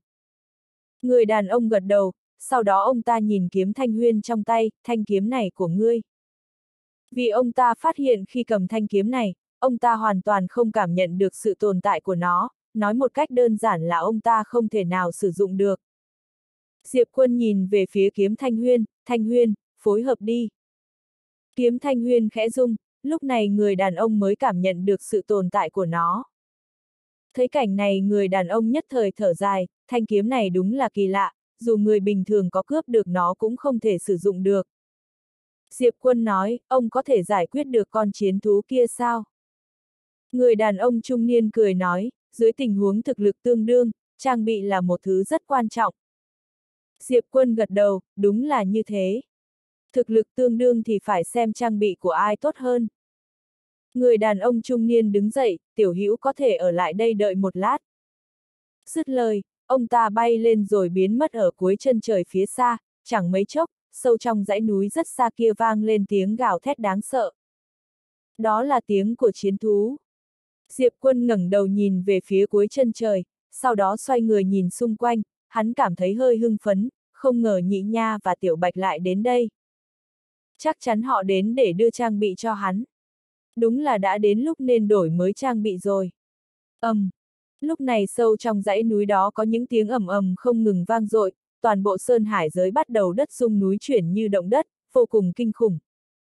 Tình hình chiến đấu khá kịch liệt. Nhưng không lâu sau đó sâu trong dãy núi kia đã vang lên tiếng hét thảm thiết. Vẫn là âm thanh của con chiến thú. Chẳng mấy chốc, người đàn ông trung niên đã kéo theo một cái xác bay đến từ chân trời. Ông ta đáp xuống trước mặt Diệp Quân rồi vứt cái xác của chiến thú sang một bên, sau đó cười nói với Diệp Quân, tiểu hữu, bây giờ cái xác này là của ngươi. Diệp Quân nhìn xác của con chiến thú kia, trên người nó có rất nhiều vết kiếm. Người đàn ông nhìn kiếm thanh huyên trong tay, cảm thán, tiểu hữu, thanh kiếm này của ngươi thật sự quá đáng sợ, khả năng phòng ngự của con chiến thú này rất kinh khủng, nhưng nó lại trở nên mỏng như giấy trước thanh kiếm này của ngươi. Dứt lời ánh mắt ông ta trở nên phức tạp. Ông ta giao đấu với con chiến thú này hơn nghìn năm vẫn luôn bất phân thắng bại, mà ông ta không ngờ hôm nay dựa vào thanh kiếm này mất chưa đến mấy chục giây đã kết thúc trận chiến. Trang bị vẫn rất là quan trọng. Diệp quân cười nói, chúc mừng tiền bối. Người đàn ông trung niên thu hồi suy nghĩ, ông ta đang định trả kiếm thanh huyên lại cho Diệp quân, nhưng trong đầu lại có một suy nghĩ tham lam lướt qua. Nếu ông ta cướp lấy thanh kiếm này thì thực lực của ông ta sẽ tăng lên rất nhiều, có thể nói là vô địch trong cùng cảnh giới, vượt cảnh giới cũng không áp lực. Hiện tại ông ta là cảnh giới thần đạo bốn phần thần tính, có thanh kiếm này dù là ở bên ngoài, ông ta cũng chắc chắn có thể xử lý cao thủ cảnh giới thần đạo 5 phần thần tính một cách dễ dàng, dù đối mặt với cao thủ 6 phần thần tính ông ta cũng sẽ không sợ. Khả năng gia tăng sức chiến đấu của thanh kiếm này quá kinh khủng. Diệp quân bình tĩnh nhìn người đàn ông trung niên đang im lặng suy nghĩ trước mặt. Tính đặc thù của kiếm thanh huyên là chỉ cần hắn muốn, ngoài hắn ra thì không bất cứ ai có thể sử dụng được, không chỉ không thể sử dụng mà còn bị cắn trả. Trước mắt chỉ có người được thanh kiếm này công nhận mới có thể sử dụng nó. Một khi người đàn ông trung niên này có ý đồ xấu, hắn sẽ lập tức bị kiếm thanh huyên cắn trả. Lúc này, người đàn ông đột nhiên cười trả lại kiếm thanh huyên cho Diệp Quân, tiểu hữu ta trả kiếm cho ngươi. Cuối cùng ông ta vẫn không chọn cướp kiếm. Vì lý trí đã chiến thắng lòng tham. Thiếu niên này có lai lịch không tâm thường, nếu giết người cướp kiếm thì dù thành công ông ta cũng sẽ tạo ra nhân quả vô cùng lớn. Hơn nữa thanh kiếm này khá đặc biệt, phải biết rằng khi nãy nếu không nhờ thiếu niên này lên tiếng, ông ta hoàn toàn không thể sử dụng được nó. Vì thế dù rất động lòng nhưng ông ta vẫn kiềm chế được. Giết người cướp kiếm sẽ để lại hậu họa khôn lường. Không bằng kết bạn với hắn, sau này nếu ông ta gặp cao thủ không thể chống lại nói không chừng còn có thể mượn dùng, thế chẳng phải tốt hơn sao. Nghĩ vậy, chút tham lam cuối cùng trong đầu người đàn ông cũng biến mất. Diệp quân nhận lấy kiếm thanh huyên rồi hỏi, tiền bối xưng hô thế nào? Người đàn ông trung niên cười đáp, thần giã. Diệp quân gật đầu, hy vọng chúng ta hợp tác vui vẻ. Thần giã cười rồi nói, tiểu hữu còn ác thú và linh tổ kia. Diệp quân nói, phiền tiền bối dẫn ta đi gặp họ. Thần giã nhìn chằm chằm Diệp quân, tiểu hữu ngươi chắc chắn họ sẽ nể mặt ngươi chứ. Không giấu gì ngươi, còn ác thú kia khá khó chịu, cô ta, rất thích chú ý đến nhẫn không gian của ta. Diệp quân, thần giã lắc đầu cười khẽ, cho nên tiểu hữu đi gặp cô ta tốt nhất nên cất kiếm đi, nếu không có lẽ cô ta sẽ cướp đấy. Diệp quân cười nói, không sao, chúng ta đi gặp họ đi. Thần giã thấy Diệp quân tự tin thế thì cũng không nói gì thêm, đi theo ta. Dứt lời ông ta xoay người rời đi. Sau khi cất xác con chiến thú kia đi, Diệp quân di chuyển, biến thành một tia kiếm quang đi theo ông ta. Thần giã nhanh chóng dẫn Diệp quân tới trước một cái hồ, ông ta chỉ xuống đáy hồ, ở bên dưới. Diệp quân hơi nghi ngờ, ở bên dưới làm gì? Thần giã trầm giọng đáp, tìm báu vật. Diệp quân quay đầu nhìn về phía thần giã, thần giã giải thích, sau khi vào đó, bọn họ bắt đầu tìm kiếm báu vật ở khắp nơi, linh tổ kia rất đặc biệt, nó có thể tìm ra một vài bí cảnh di tích bị che giấu. Diệp quân lắc đầu cười khẽ. Tiểu bạch. Hắn biết tiểu bạch có chức năng tìm báu vật. Lúc này đáy hồ đột nhiên hơi rung lên. Thấy thế Diệp quân nói, chúng ta xuống đó đi. Sau đó hắn biến thành một tia kiếm quang bay xuống đáy hồ. Thần giã thoáng do dự rồi cũng đi theo. Sâu dưới đáy hồ này có một không gian khác, là một thế giới riêng biệt. Trước một động phủ có một cô bé đang đánh lên trên cửa đá, phong ấn trên cửa đá rung lên rồi nứt ra, nhưng vẫn chưa hoàn toàn vỡ tan. Thấy thế cô bé nhất thế hơi ngạc nhiên, vì thế cô bé lại đấm thêm một phát nữa. ầm, um, cửa đá lập tức vỡ tan. Trong cửa đá là một hành lang sâu không thấy đáy. Cô bé ôm tên nhóc màu trắng đi dọc theo hành lang, hai bên hành lang có vô số bùa chú màu máu. Cô bé nhìn thoáng qua những bùa chú màu máu kia, sau đó chẳng thèm để tâm liếm kẹo hồ lô. Mấy thứ xấu xa này chỉ khiến cô bé cảm thấy thân thiết hơn thôi. Nhị nha nhanh chóng dẫn tiểu bạch đi tới trước một cánh cửa, toàn bộ cánh cửa này có một màu đỏ như máu, tựa như làm bằng máu tươi, vô cùng kỳ quái. Nhị nha liếm kẹo hồ lô, sau đó đánh ra một quyền. ầm, um, cú đấm khiến cánh cửa màu máu rung động dữ dội, xuất hiện vô số vết nứt, nhưng cũng không hoàn toàn vỡ tan. Thấy cảnh này nhị nha hơi cau mày, lại đấm thêm phát nữa. Oanh! Cánh cửa kia lập tức biến thành cho bụi. Cùng lúc đó những bùa chú màu máu bí ẩn ở xung quanh hành lang chợt bốc cháy rồi biến thành cho bụi. Nhị nha nhíu mày, hình như là phòng ấn gì đó bị đánh vỡ. Ha ha! Lúc này có một tiếng cười to chợt vang lên từ sau cánh cửa, 10 vạn năm. 10 vạn năm, cuối cùng ta cũng có thể ra ngoài rồi, ha ha. Ra ngoài. Nhị nha và tiểu bạch ở trước cửa nhìn nhau với vẻ nghi ngờ. Lúc này dưới ánh nhìn của họ, một người đàn ông mặc trường bào màu đen chậm rãi bước ra, người đàn ông thân hình cao lớn, chỗ hai tay còn đang bị trói bởi dây xích màu đen, trên người tản ra lệ khí vô cùng mạnh tựa như một tay giết người.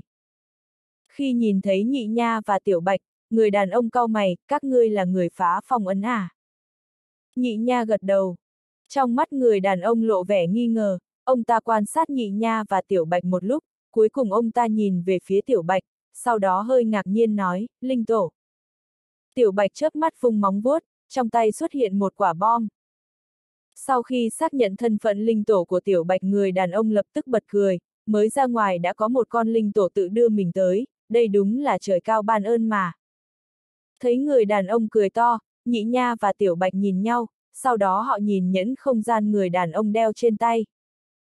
Lúc này người đàn ông cười nhẹ nhàng với tiểu bạch, người có muốn nhận ta làm chủ không? Nếu có thể được con linh tổ này nhận làm chủ nhân thì chắc chắn ông ta sẽ đổi đời từ nay. Nghe thấy lời của người đàn ông, tiểu bạch vội vàng lắc đầu. Người đàn ông cũng không tức giận, ông ta cười nói, không sao, sau này ngươi sẽ đổi ý thôi.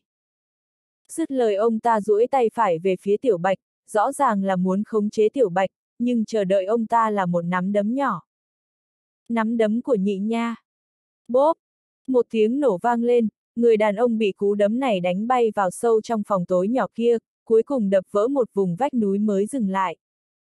Lúc này toàn bộ thế giới dưới mặt đất bắt đầu sụp đổ. Sâu trong lòng đất, người đàn ông ngơ ngác nhìn cơ thể hơi nứt ra của mình. Cú đấm này có thể đánh vỡ cơ thể ông ta. Người đàn ông cảm thấy hơi khó có thể chấp nhận.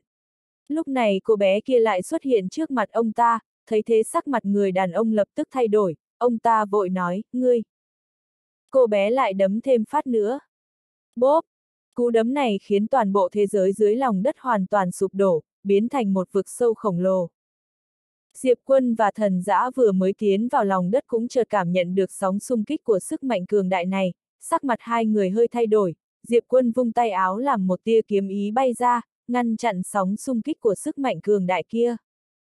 Diệp quân hơi ngạc nhiên nhìn về phía xa. Sao nhị nha này lại đánh nhau với người ta rồi? Nét mặt thần giã ở bên cạnh Diệp quân cũng hơi nặng nề, thực lực của ác thú này đúng là đáng sợ. Dứt lời ông ta không khỏi nhìn Diệp quân bên cạnh, trong lòng hơi nghi ngờ, tiểu hữu này thật sự có thể xử lý con ác thú kia sao? Lúc này Diệp quân đột nhiên nói, đi. Dứt lời, người hắn rung lên, biến thành một tia kiếm quang bay về phía xa. Thấy thế thần giã cũng vội vàng đi theo. Sâu trong lòng đất phía xa, nhị nha đang muốn ra tay một lần nữa, nhưng lúc này cô bé như cảm nhận được điều gì đó nên quay đầu nhìn lại, khi thấy một tia kiếm quang ở phía xa, cô bé nhất thời sửng sốt, cháu trai. Lúc này kiếm quang bay đến trước mặt nhị nha, kiếm quang tản đi, Diệp Quân xuất hiện. Thấy Diệp Quân, hai mắt tiểu bạch sáng lên, nó vội vàng bay lên bả vai hắn, sau đó dùng móng vuốt nhỏ vuốt ve đầu hắn như rất cương chiều. Diệp Quân. Nhị nha đi tới trước mặt Diệp Quân, cười nói, cháu trai, sao ngươi lại đến đây? Cháu trai. Nghe thấy lời của nhị nha, nét mặt thần dã bên cạnh nhất thời trở nên kỳ lạ. Diệp Quân cũng không quan tâm đến cách gọi của nhị nha, hắn cười nói, nghe nói các ngươi đến đây nên cố ý đến tìm. Dứt lời, hắn nhìn người đàn ông áo đen đang chậm rãi đi tới từ phía xa, tỏ vẻ nghi ngờ ông ta là. Nhị nha nói, ông ta muốn cướp tiểu bạch. Nghe thấy thế Diệp Quân lập tức xa sầm mặt. Cướp tiểu bạch. Như thế thì không bỏ qua được rồi. Lúc này, người đàn ông áo đen phía xa vội nói, hiểu lầm, đây chỉ là hiểu lầm mà thôi. Giờ phút này ông ta thật sự thấy hơi sợ. Khi nãy không nhìn kỹ nên chỉ thấy con linh tổ này mà không nhận ra con ác thú kia, đương nhiên ông ta không nhận ra cũng bình thường vì nhị nha cũng không biến hình. Bây giờ cô bé thích biến thành con người hơn. Thần giã nhìn người đàn ông áo đen kia, sau đó tỏ vẻ nghi ngờ, cảnh giới thần đạo. Người đàn ông cười ngượng ngùng, chỉ là hiểu lầm thôi, các các ngươi nói chuyện với nhau đi. Dứt lời, ông ta lập tức muốn bỏ chạy. Lúc này nhị nha đột nhiên xuất hiện trước mặt ông ta làm sắc mặt ông ta hơi thay đổi, vội nói, ngươi. Nhị nha chỉ chiếc nhẫn không gian trên tay ông ta, cái này là của ta. Người đàn ông áo đen. Nét mặt của Diệp Quân cũng trở nên cứng đờ. Bây giờ hắn đã biết vì sao nhị nha và tiểu bạch lại giàu như thế rồi. Người đàn ông trần trừ một lát rồi nói, của ta mà. Nhị nha bình tĩnh nói, chúng ta đã cứu người ra ngoài đấy, người bày tỏ chút tấm lòng đi. Tiểu bạch cũng vung móng vuốt tỏ vẻ ông ta phải cảm ơn. Người đàn ông im lặng, sao linh tổ và ác thú mà lại giống cướp thế? Sắc mặt nhị nha chợt trở nên lạnh lùng, thấy thế người đàn ông vội nói, đương nhiên, là phải cảm ơn rồi. Dứt lời ông ta tháo nhẫn không gian xuống một cách miễn cưỡng, sau đó đưa cho nhị nha. Nhị nha nhận lấy nhẫn không gian rồi nhìn thoáng qua, cô bé nhất thời nhíu mày, sao ngươi lại nghèo thế? Mẹ kiếp! Người đàn ông trợn tròn mắt tỏ vẻ khó tin, người cướp của ta còn chê ta nghèo. Có còn thiên lý không vậy? Lúc này nhị nha đột nhiên ném nhẫn không gian cho Diệp Quân bên cạnh, cho người đấy. Diệp Quân chớp mắt, hắn nhìn thoáng qua nhẫn không gian, không ngờ bên trong lại có một tổ mạch. Tổ mạch. Ngoài ra thì trong nhẫn còn có một vài món thần bảo, nếu mang ra ngoài bán chắc chắn có thể đổi lấy không ít tổ nguyên. Diệp quân nheo mắt vội vàng cất nhẫn không gian đi, cười tươi nói cảm ơn nhị nha. Hắn không ngờ đến tìm nhị nha lại có thu hoạch lớn như thế. Người đàn ông áo đen ở trước mặt nhị nha nhìn cô bé một cái, sau đó nói ta có thể đi rồi chứ. Nhị nha xua tay, đi đi. Người đàn ông xoay người muốn chạy đi, nhưng lúc này thần giã kia chợt nói, đợi đã. Người đàn ông quay đầu nhìn thần giã với vẻ đề phòng. Thần giã cũng nhìn ông ta, ông đã bị nhốt ở nơi này bao lâu rồi? Người đàn ông trầm giọng nói, khoảng 10 vạn năm. 10 vạn năm. Nghe thấy lời của người đàn ông, Diệp Quân nheo mắt, không ngờ người này lại bị nhốt tận 10 vạn năm. Nếu hắn bị nhốt 10 vạn năm, e rằng hắn sẽ phát điên luôn. Thần giã trầm giọng hỏi, có phải ông bị yêu hoàng năm đó phong ấn không? Yêu hoàng. Nghe thấy hai chữ này sắc mặt người đàn ông lập tức thay đổi, trong mắt lộ vẻ kiêng rè. Diệp quân nhìn về phía thần giã, yêu hoàng. Thần giã gật đầu, yêu hoàng đời thứ nhất của Sơn Hải giới là yêu thú mạnh nhất từ trước đến nay ở nơi này, có cảnh giới thần đạo sáu phần thần tính. Diệp quân hỏi, bây giờ không còn ở đây nữa à? Thần giã đáp, đã rời khỏi Sơn Hải giới rồi. Dứt lời, ông ta nhìn về phía người đàn ông áo đen, khi còn nhỏ ta từng nghe tổ tiên nhắc tới một loài người bị yêu hoàng đích thân phong ấn nhốt lại, hơn nữa lai lịch của loài người này còn không hề tầm thường, đến từ la cổ giới lớn mạnh. Nghe thấy lời của thần giã, sắc mặt người đàn ông hơi thay đổi, không biết ông ta đang nghĩ gì. Thần giã nhìn chằm chằm ông ta, tiểu hữu nếu để ông ta rời đi, chắc chắn ông ta sẽ truyền tin tức linh tổ xuất hiện đến la cổ giới, khi đó mọi người sẽ gặp phải phiền phức vô cùng to lớn. Diệp quân cau mày nhìn về phía người đàn ông áo đen, người đàn ông vội vàng nói, không đâu, chắc chắn sẽ không. Diệp quân nhìn ông ta, thần giã tiền bối, là cổ giới này là nơi nào vậy? Thần giã đáp, đứng thứ ba về thực lực trong các thế giới, vô cùng lớn mạnh, năm đó sở dĩ yêu hoàng phong ấn ông ta mà không giết ông ta, chắc hẳn là vì kiêng rẻ la cổ tộc này. Người đàn ông khẽ thở dài, đúng là ta đến từ la cổ tộc, nhưng quan hệ giữa ta và bọn họ cũng chẳng ra sao cả, nếu không năm đó bọn họ cũng sẽ không thấy chết không cứu. Càng chưa nói bây giờ đã 10 vạn năm trôi qua, chút quan hệ giữa ta và la cổ tộc đã sớm mất sạch rồi. Dứt lời ông ta nhìn về phía Diệp Quân, nghiêm túc nói, vị công tử này, hôm nay ta có thể thoát khỏi phong ấn đã là rất may mắn, vì thế chắc chắn ta sẽ không gây chuyện đâu. Ông ta đã nhìn ra nếu muốn rời khỏi đây thì phải đợi thiếu niên này gật đầu, dù hắn là người có cảnh giới yếu nhất ở nơi này. Diệp quân nói, ông đi đi. Người đàn ông vội vàng xoay người bỏ chạy. Thần giã hơi lo lắng. Diệp quân nhìn tiểu bạch bên cạnh, sau đó cười nói, đừng lo lắng thay cho họ. Nếu người đàn ông này thật sự muốn gây chuyện thì la cổ tộc mới là bên nên lo lắng. Đùa sao, dù Diệp quân hắn có chết thì hai bà cô này cũng sẽ không có vấn đề gì cả. Nếu đánh nhau, hai bà cô này có thể gọi đến cho ngươi một đống người. Hơn nữa hai người họ còn có thể đi cùng với ông nội. Thấy dáng vẻ rừng rưng của Diệp quân, thần dã nhất thời hơi tò mò về thân phận của Diệp quân, nhị nha và tiểu bạch. Rõ ràng ba người này là người một nhà, mà ông ta vẫn thấy nghi ngờ vì sao mình chưa từng nghe nói tới nhà họ Dương này. Lúc này, Diệp Quân đi tới trước mặt nhị nha, sau đó cười nói, tiếp theo các người có dự định gì? Nhị nha ngẫm nghĩ rồi nói, chúng ta cố ý đến tìm ngươi đấy.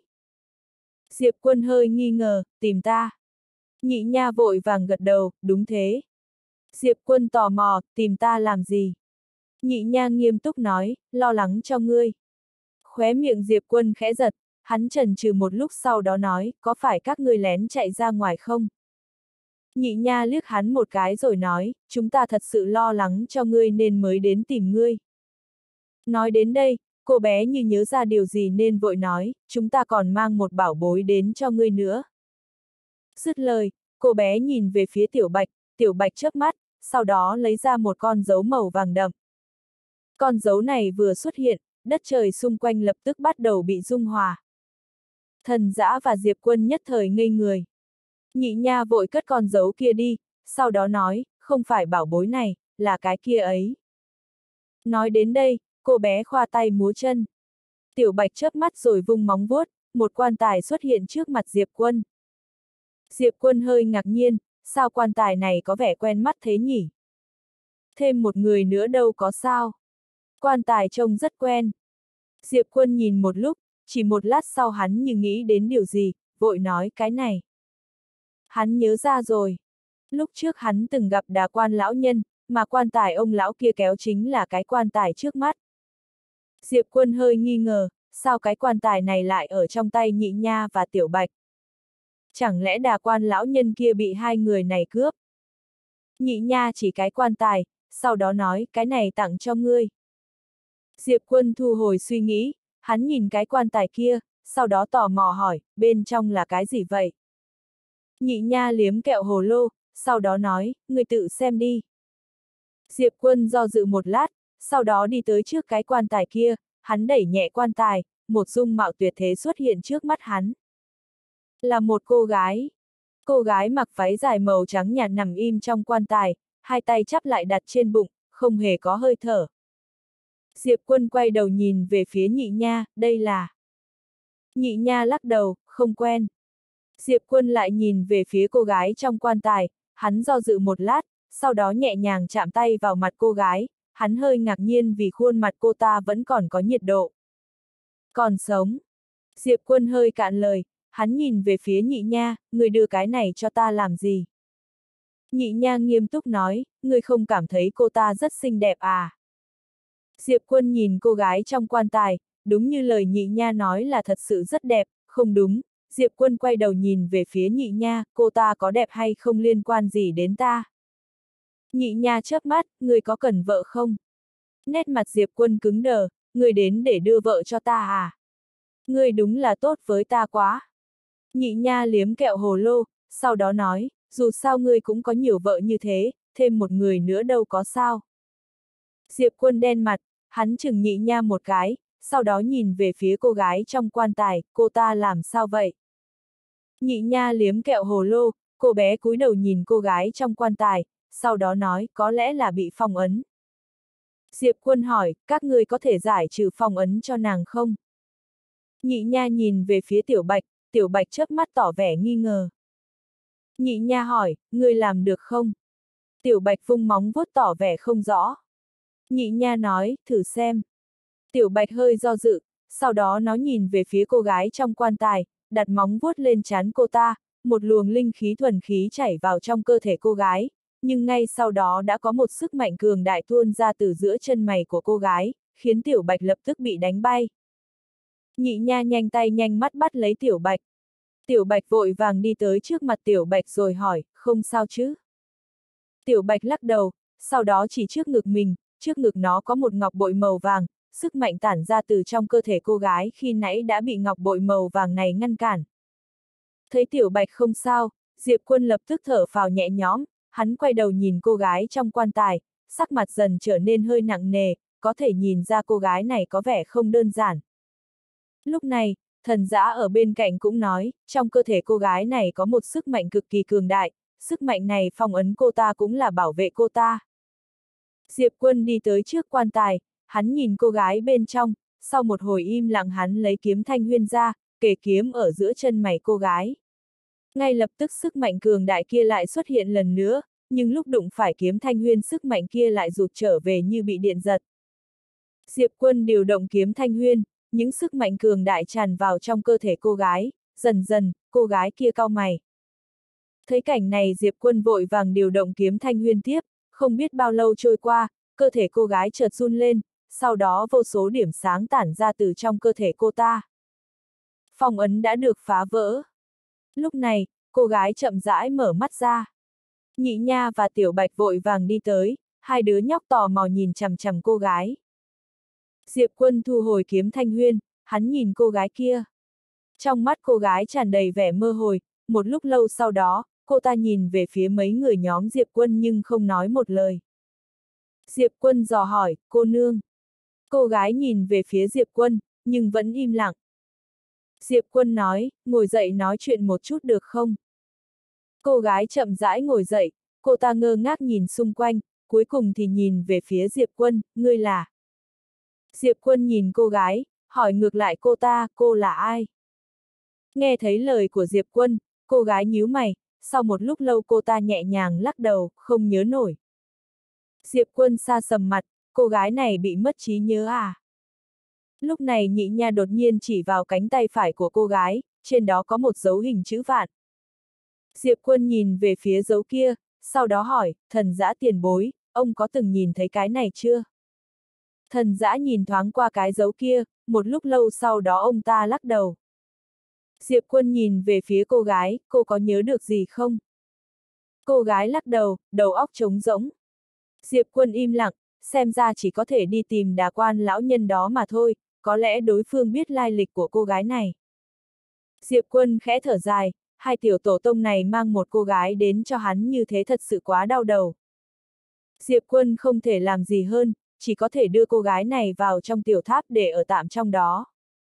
Sau khi sắp xếp cho cô ta xong, Diệp quân nhìn về phía nhị nha và tiểu bạch, nhị nha hé miệng cười, chúc mừng. Diệp quân tức giận nói, chúc mừng cái gì? Nhị nha nghiêm túc nói, cô gái này rất đẹp. Diệp quân nói, nếu tiếp theo các ngươi không có kế hoạch gì thì tạm thời đi theo ta. Nhị nha gật đầu, được. Lần này họ lén chạy ra ngoài, dù chơi rất vui nhưng sau này chắc chắn vẫn sẽ bị phạt, nhưng có cháu trai thì họ còn có thể lấy cớ được. Thấy nhị nha đồng ý, Diệp quân hơi nhếch môi.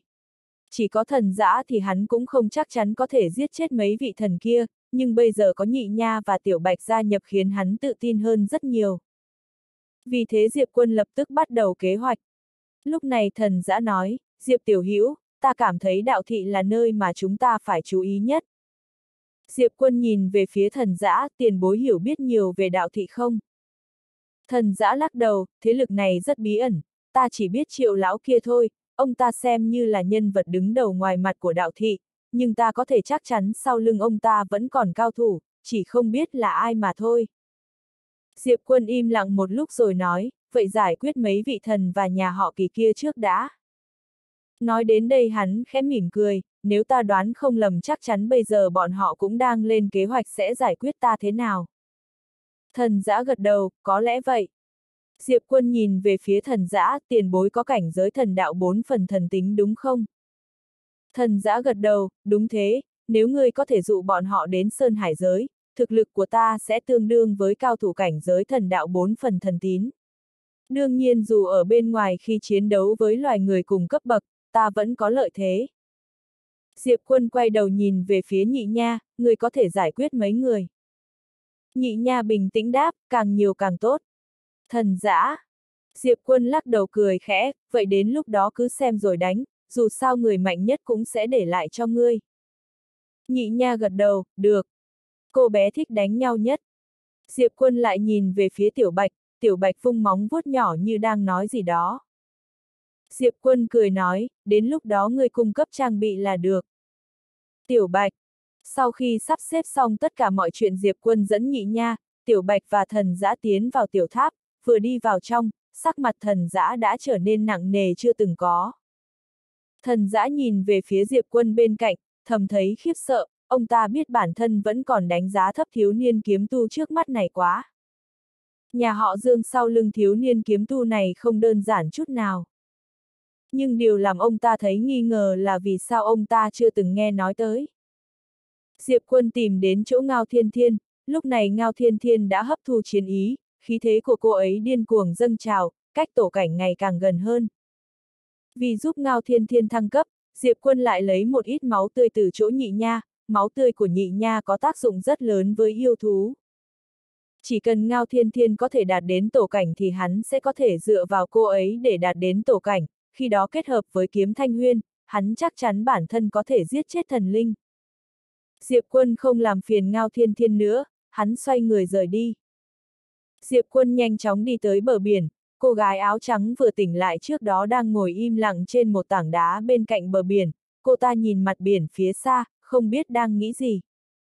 Diệp quân đi tới cạnh cô gái áo trắng, cô ta quay đầu nhìn hắn, sau đó nói với vẻ áy náy, xin lỗi, ta vẫn không nhớ ra được gì cả. Diệp quân hỏi, một chút gì đó cũng không ư. Cô gái gật đầu, đầu óc ta trống rỗng, chỉ có ký ức gặp được ngươi. Diệp quân im lặng.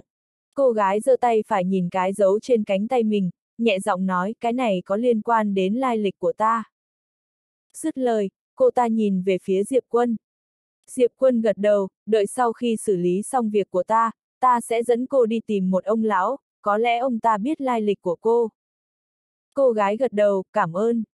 Diệp quân hơi tò mò, bây giờ cô còn có sức mạnh không? Cô gái do dự một lát rồi nói, hình như là có. Diệp Quân nói, thử xem. Cô gái gật đầu, cô ta xoay người nhẹ nhàng chỉ ngón tay về phía biển, khiến cả cái biển thoáng chốc bốc hơi. Thấy cảnh này, Diệp Quân sửng sốt. Cô gái quay đầu nhìn về phía hắn, chỉ thế thôi.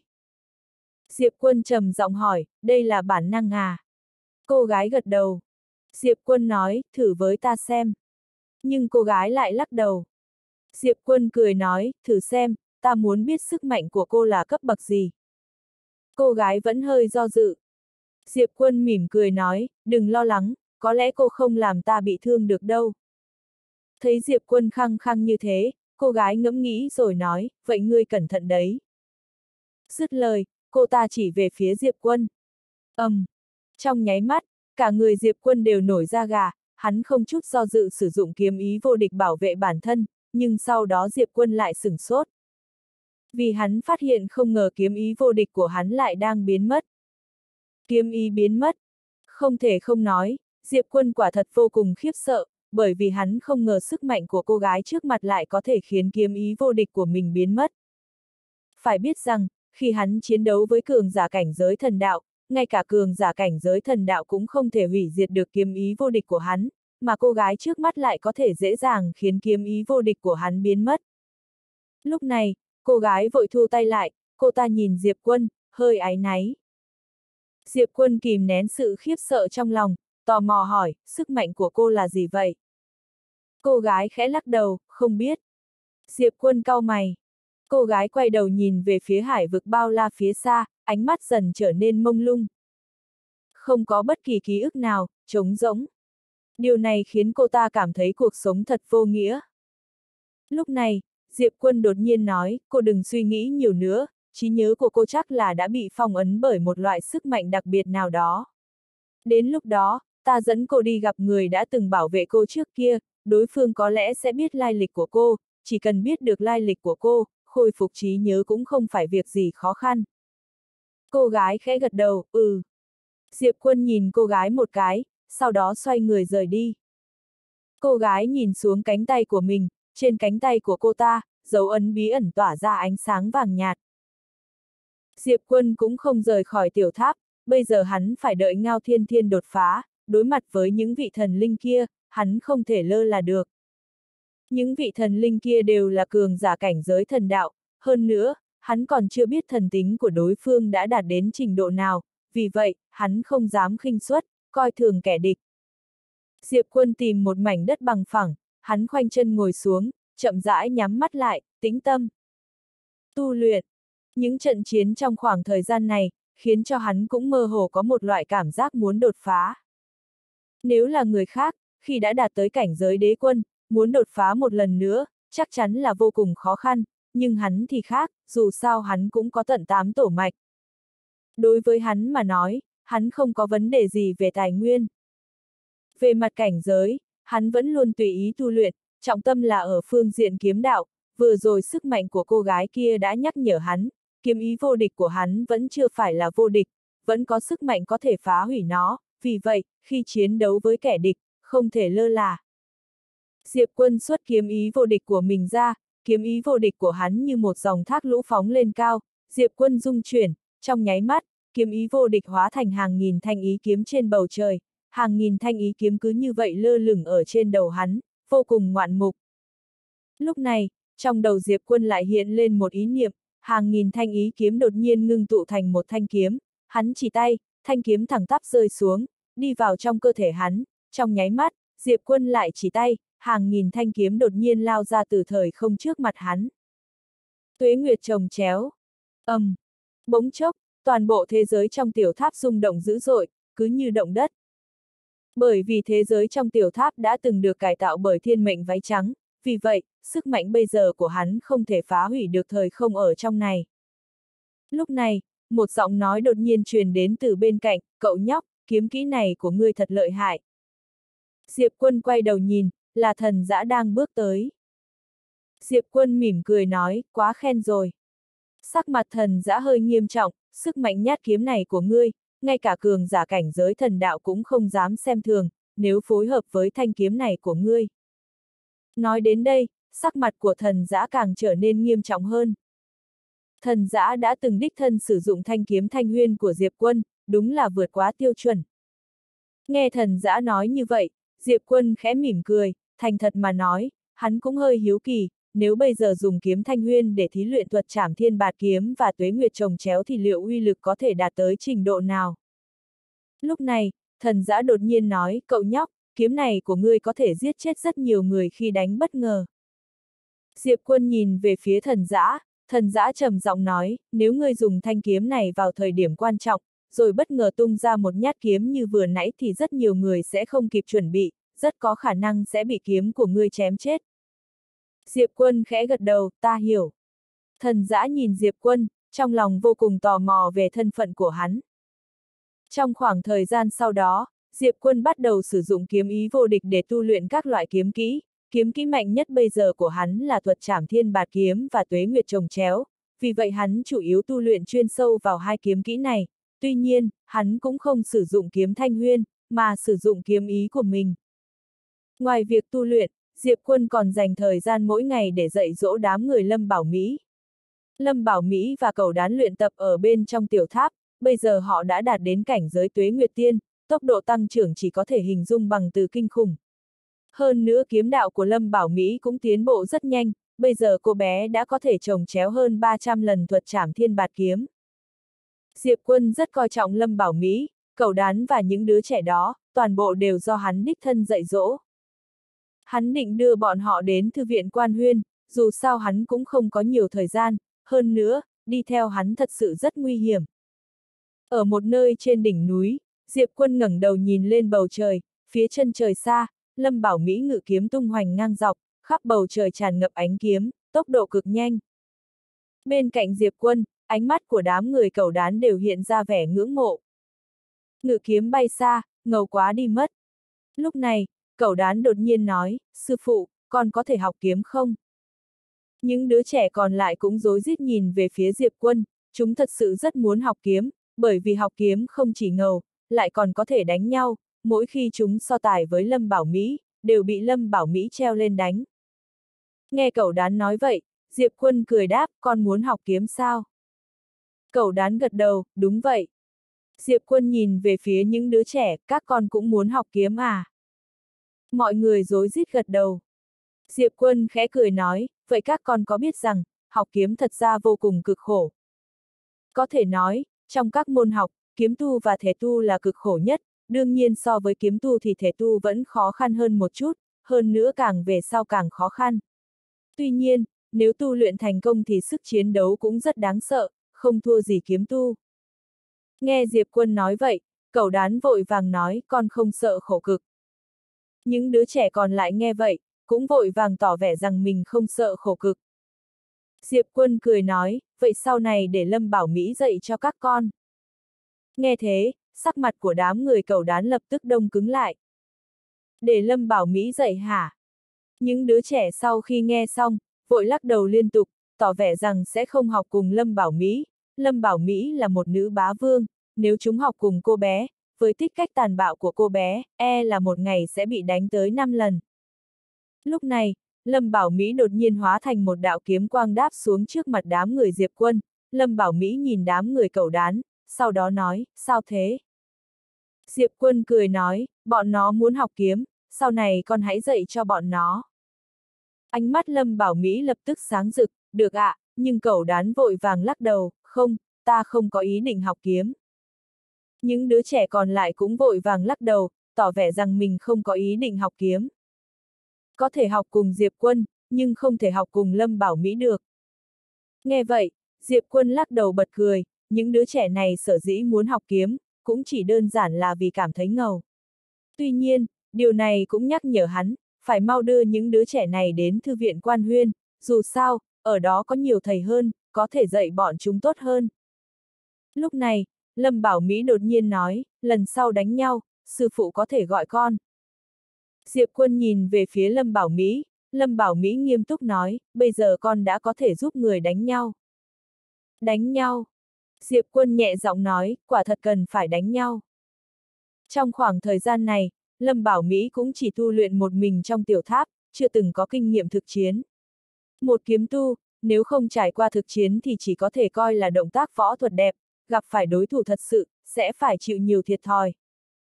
Nghe Diệp Quân nói vậy, Lâm Bảo Mỹ lập tức trở nên phấn khích, cô bé mới chỉ so tài với đám người cậu đán, tuy nhiên, không thú vị gì cả, bởi vì ngoại trừ cậu đán có thể chịu chút đòn ra, những đứa trẻ khác đều gầy yếu, căn bản không thể cùng mài rũa. Lúc này, nhị nha dẫn theo tiểu bạch đi tới, cô bé vẫn mặc chiếc áo phông trắng, quần jean rách, một đôi giày trắng, trông khá côn đồ. Nhị nha liếm kẹo hồ lô, cô bé nhìn Lâm Bảo Mỹ ở bên cạnh, sau đó nói, người mới thu nhận thêm đệ tử sao? Diệp quân cười nói, cứ coi như là vậy đi. Nhị nha khẽ gật đầu, đệ tử của ngươi cũng chính là đồ tôn của chúng ta. Diệp quân. Lâm Bảo Mỹ nhìn thấy tiểu bạch, ánh mắt lập tức sáng lên, cô bé chạy đến trước mặt nhị nha, sau đó nói, ta có thể ôm nó được không? Tiểu bạch trừng mắt nhìn, sau đó duỗi móng vuốt nhỏ để ngăn cản Lâm Bảo Mỹ, tỏ vẻ từ chối. Thấy bộ dạng tiểu bạch như vậy, Lâm Bảo Mỹ lại càng thích hơn, cô bé quay đầu nhìn về phía Diệp Quân ở một bên, sư phụ, người mua cho con một con này đi. Nghe vậy, Diệp Quân vội lắc đầu, ta không mua nổi. Mặc dù hắn rất có tiền, nhưng thật sự không mua nổi một con linh tổ. Nhị nha nhìn Lâm Bảo Mỹ, sau đó nói, người muốn chơi cùng với chúng ta sao? Lâm Bảo Mỹ vội vàng gật đầu, tỏ vẻ rất muốn. Nhị nha nhìn về phía Diệp Quân, để cho cô bé chơi cùng chúng ta đi. Diệp Quân vội vàng lắc đầu, cô bé phải đi đến thư viện để học tập, không thể chơi cùng với các ngươi. Đùa đấy à, bản thân Lâm Bảo Mỹ cũng không phải là người hiền lành gì, nếu cô bé còn đi theo nhị nha và tiểu bạch thì sau này chắc chắn sẽ trở thành nữ tặc. Nghe Lâm Bảo Mỹ phải đi thư viện học tập, nhị nha nhìn cô bé với vẻ thương hại. Học tập gì đó, chắc chắn không thú vị. Theo cô bé thấy, chỉ có những người không có tiền đồ mới phải đi học. Nhị nha nhìn về phía Diệp Quân, khi nào thì đi cướp. Diệp Quân sửng sốt. Nhị nha vội vàng sửa lại lời nói, khi nào thì đi đánh nhau. Diệp Quân đang định đáp lời, ngay vào lúc này, một luồng khí thức cực kỳ khủng khiếp đột nhiên truyền tới từ phía xa. Ba người quay đầu nhìn, ở phía cuối chân trời, thời không chấn động dữ dội, từng luồng khí tức cường đại không ngừng tràn ra từ xa. Thấy cảnh tượng này, khóe miệng Diệp Quân lập tức nhếch lên. Ngao Thiên Thiên đột phá. Tổ cảnh. Ngao Thiên Thiên ngồi khoanh chân trên một đám mây, khắp người tỏa ra long uy đáng sợ, trong long uy còn có những chiến ý mạnh mẽ vô song. Lúc này, cô ấy đã đạt tới cảnh giới tổ cảnh. Phía dưới, Diệp Quân mỉm cười, mỗi lần Ngao Thiên Thiên tăng một bậc cảnh giới, sức chiến đấu cũng tăng lên rất nhiều, hắn còn phát hiện ra, trong sức mạnh của Ngao Thiên Thiên còn ẩn chứa ý chí chiến đấu cực kỳ mạnh mẽ. Ngao Thiên Thiên thăng cấp cũng coi như là hắn thăng cấp. Có người vợ có thể dung hợp thật tốt. Cũng nên tìm thời gian động phòng thôi, dù sao hai người cũng là vợ chồng hợp pháp rồi. Nghĩ đến đây, Diệp Quân vui vẻ mỉm cười.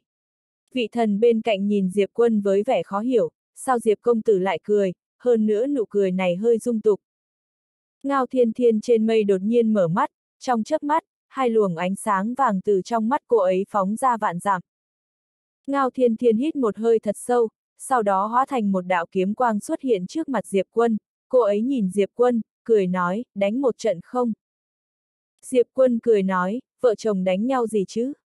Ngao thiên thiên lườm hắn, nhưng vẫn nở nụ cười. Diệp Quân nói, dung hợp chút không? Ngao thiên thiên khẽ gật đầu, sau đó hóa thành một tia sáng đi vào cơ thể Diệp Quân. Bùm! Ngay lập tức, một luồng khí tức đáng sợ cùng chiến ý mạnh mẽ bùng ra từ trong cơ thể Diệp Quân. Thấy vậy, vẻ mặt của vị thần cũng trở nên nghiêm trọng. Thực lực của Diệp Quân vốn đã mạnh, sau khi dung hợp với Ngao Thiên Thiên, thực lực của hắn sẽ đạt đến biến chất. Hắn có thể cộng hưởng khả năng phòng thủ, sức mạnh thể chất và thần hồn với Ngao Thiên Thiên. Hai người dung hợp có thể có được sức mạnh của nhau. Liên thủ mạnh mẽ. Diệp Quân từ từ nhắm mắt lại, hắn cảm nhận được sức mạnh vô tận, đây là sức mạnh của Ngao Thiên Thiên. Lúc này hắn cảm nhận được thế nào là sảng khoái. Nếu có thêm kiếm thanh huyên, hắn có thể gặp thần giết thần, gặp Phật giết Phật. Một lúc sau, Diệp Quân chậm rãi mở mắt, nói, đã đến lúc đi gặp ba vị được gọi là thần rồi. Trong đạo thị, trong một quán rượu, vài người ngồi quanh một cái bàn. Có ba vị thần linh mặt ếch đại trưởng lão nhà họ kỳ là kỳ mạc và triệu lão. Triệu lão ngồi ở ghế chính, vì thực lực của ông ta là mạnh nhất. Mạt ếch nói, chỉ cần đạo thị đuổi Diệp quân đi, khiến hắn quay về vũ trụ thần nhất thì ba người chúng ta có thể hợp lực giải quyết hắn. Kỳ mạc cười nói, Mạt ách, ông mơ đẹp thật. Mạt ách nhíu mày. Kỳ mạc bình tĩnh nói, thời gian này tại sao bọn ta không đi quấy rầy Diệp quân? Bởi vì bọn ta đang điều tra lai lịch của hắn, vẫn chưa điều tra rõ ràng. Nhưng bọn ta điều tra ra một chuyện, người này có được truyền thừa từ thần nhất. Truyền thừa từ thần nhất. Nghe vậy, ba người Mạt ách thay đổi sắc mặt. Kỳ mạc cười nói, nói cách khác, trên người Diệp công tử có ít nhất 10 tổ mạch, ngoài ra còn có vô số bảo vật thần nhất để lại. Ông ta nhìn ba người mạt ách, đây chẳng phải nguyên nhân khiến ba người kiên trì đuổi theo nhưng không giết hắn sao. Mạt ách xa sầm mặt mày, không nói gì. Triệu lão nhìn mọi người, không nói gì, tiếp tục hút thuốc, nhưng ánh mắt đã thay đổi. Mười tổ mạch, truyền thừa thần nhất. Ông ta biết thần nhất, đây là vua của vũ trụ thần nhất, nghe nói đã đạt tới 10 phần thần tính. 10 phần thần tính. Đây là một điều rất đáng sợ. Những thứ mà vị cường giả đặc biệt này để lại nhất định vô cùng quý giá. Nói không thèm muốn là nói dối. Sắc mặt của ba người mặt ách càng trở nên khó coi, bọn họ vốn định độc chiếm tổ mạch trên người Diệp Quân, nhưng bây giờ e rằng không thể. Kỳ mạc cười nói, ba bên chúng ta hợp tác thì Diệp Quân nhất định chết chắc, chỉ là sau khi giết hắn, chúng ta phải lương lượng xem phân chia đồ đạc thế nào, tránh đến lúc đó lại tranh giành, làm tổn hại hòa khí. Ông ta nhìn ba người mạt ách. Mạt ách bình tĩnh nói, thần nhất là sư phụ của bọn ta, đồ ông ấy để lại đương nhiên phải thuộc về bọn ta. Kỳ mạc mỉm cười, không nói gì. Triệu lão liếc nhìn bọn họ, cũng không nói gì, tiếp tục hút thuốc. Nhìn thấy cảnh này, sắc mặt của ba người mạt ách càng trở nên khó coi hơn, hiển nhiên hai người trước mắt không muốn nhường. Lúc này, kỳ mạc nói, mạt ách, chúng ta nói gì thiết thực đi. Mạt ếch cười nói, vậy ba người bọn ta sẽ rút lui. Rút lui. Nghe vậy, thần linh nhà họ Triệu và thần linh nhà họ Vương đều sững sờ. Triệu lão và kỳ mạc cũng nhíu mày. Mạt ếch bình tĩnh nói, ba người bọn ta từ bỏ thì thần vật trên người Diệp quân đều thuộc và các ông. Nói xong, ông ta không nhiều lời nữa, đứng lên rời đi. Thần linh nhà họ Triệu và thần linh nhà họ Vương hơi do dự, sau đó cũng đứng lên đi theo. Mặc dù bọn họ thấy hơi khó hiểu, nhưng lúc này vẫn lựa chọn rời đi. Cùng chờ xem. Thấy ba người rời đi, kỳ mạc nhíu mày, nhìn triệu lão, ba người họ có ý gì? Triệu lão trầm mặc một hồi nói, không biết. Kỳ mạc trầm giọng nói, ông nghĩ thế nào? Triệu lão bình tĩnh nói, chia đều. Chia đều. Kỳ mạc hơi lo lắng, lai lịch của Diệp quân. Triệu lão bình tĩnh nói, nhà họ kỳ ông và đạo thị liên thủ, có gì phải sợ nữa. Nghe vậy, kỳ mạc khẽ gật đầu, đúng vậy. Ông ta nhìn triệu lão, nên ra tay ở đâu? Triệu lão nói, ngay tại đây. Đạo thị. Nghe vậy, kỳ mạc hơi bất ngờ, cười nói, rất tốt. Ở đạo thị là nơi có rất nhiều cường giả đỉnh cao để lại sức mạnh phong ấn, những sức mạnh phong ấn này có thể áp chế người nơi này. Dường như nghĩ ra điều gì đó, kỳ mạc nhíu mày nói, trong tay Diệp quân có một thanh kiếm, thanh kiếm đó có thể phá vỡ phòng ấn nơi này. Triệu lão rít một hơi thuốc, sau đó nói, có nghĩa là phong ấn ở nơi đây vẫn chưa được kích hoạt hoàn toàn, nếu được kích hoạt hoàn toàn thì cho dù hắn có 10 thanh thần kiếm cũng không thể phá vỡ. Nghe triệu lão nói vậy, kỳ mạc mới hoàn toàn yên tâm, khẽ gật đầu ta đi tập hợp người tới. Nói xong ông ta đứng dậy rời đi. Trên bàn rượu, triệu lão rít một hơi thuốc thật sâu, sau đó nói, 10 tổ mạch. Bên kia, ba người mạt ách đã rời khỏi đạo thị, trở về vũ trụ thần nhất. Lúc này, thần linh nhà họ triệu hỏi, Mạt Ách, ông có ý gì? Mạt Ách nói, nếu chúng ta liên thủ với bọn họ thì cuối cùng sẽ có được cái gì? Thần linh nhà họ triệu và thần linh nhà họ vương đều sững sờ. Đúng vậy. Có được cái gì chứ? Mười tổ mạch chia cho ba bên, một bên có được ba tổ mạch, còn ba nhà họ chỉ được chia một tổ mạch. Một tổ mạch.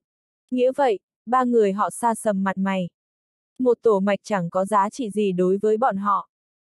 Mạt Ách nói, các ông thấy Diệp Quân thế nào? Hai người nhìn Mạt Ách, thần linh nhà họ Triệu trầm giọng nói, ông có ý gì? Mạt Ách nói, người này có được truyền thừa của sư phụ, chắc chắn không phải người bình thường, nếu có được 10 tổ mạch cùng thần vật trên người hắn thì có thể lựa chọn ra tay, nhưng nếu phải chia với hai nhà kia thì ta thấy chúng ta không cần mạo hiểm. Thần linh nhà họ Triệu nói, nhường cho người khác sao? Thần linh nhà họ Vương lắc đầu, ý của Mạt Ách là Diệp quân kia không đơn giản, nếu chúng ta chỉ có được một tổ mạch thì không cần mạo hiểm. Mạt Ách gật đầu, đúng vậy, chúng ta tạm thời có thể quan sát trước, bởi vì đạo thị và nhà họ Kỳ đã bắt tay với nhau, chắc chắn có thể để lộ nhiều chuyện của Diệp quân hơn, cho nên chúng ta cứ chờ xem. Thần linh nhà họ Triệu trầm giọng nói, nhưng nếu đạo thị và nhà họ Kỳ thành công thì sao?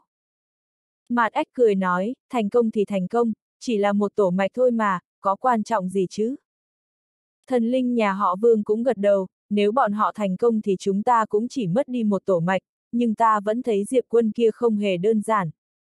Nói đến đây ông ta mỉm cười, khi chúng ta buông bỏ lòng tham, nhìn Diệp quân từ góc độ của người ngoài cuộc, chúng ta phát hiện ra Diệp quân không hề đơn giản, chưa nói đến chuyện khác, chỉ riêng việc hắn có được truyền thừa từ sư phụ đã chứng tỏ hắn không tầm thường phải biết rằng trước đây nữ phu tử và huyền tông đều không có được truyền thừa của sư phụ. Mạt ách cũng gật đầu, người này còn trẻ mà đã có lực chiến đáng sợ, chúng ta đều đã đánh giá thấp hắn rồi. Lúc này, bọn họ chợt phát hiện ra khi lựa chọn không tham gia vào cuộc chiến, tâm thái của bọn họ đã thay đổi. Bọn họ ngày càng cảm thấy Diệp Quân không đơn giản, lần này đạo thị và nhà họ kỳ chắc chắn sẽ tổn hại. Ngược lại, bây giờ bọn họ lại hy vọng thế lực phía sau Diệp quân đủ mạnh để tiêu diệt nhà họ kỳ và đạo thị. Thần linh nhà họ triệu gật đầu, vậy thì chúng ta cùng chờ xem. Mạt ách gật đầu, chờ xem. Khi Diệp quân trở về đạo thị, hắn phát hiện đạo thị hôm nay vô cùng yên tĩnh, không chỉ vậy, cả đạo thị không có cửa hàng nào mở cửa. Thấy vậy, Diệp quân khẽ nhíu mày. Lúc này, thần giã trong tháp lên tiếng, cẩn thận. Diệp quân nhìn xung quanh, cười nói, xem ra bọn họ muốn ra tay rồi. Vừa dứt lời, một ông lão từ xa đi tới, ông lão này chính là triệu lão.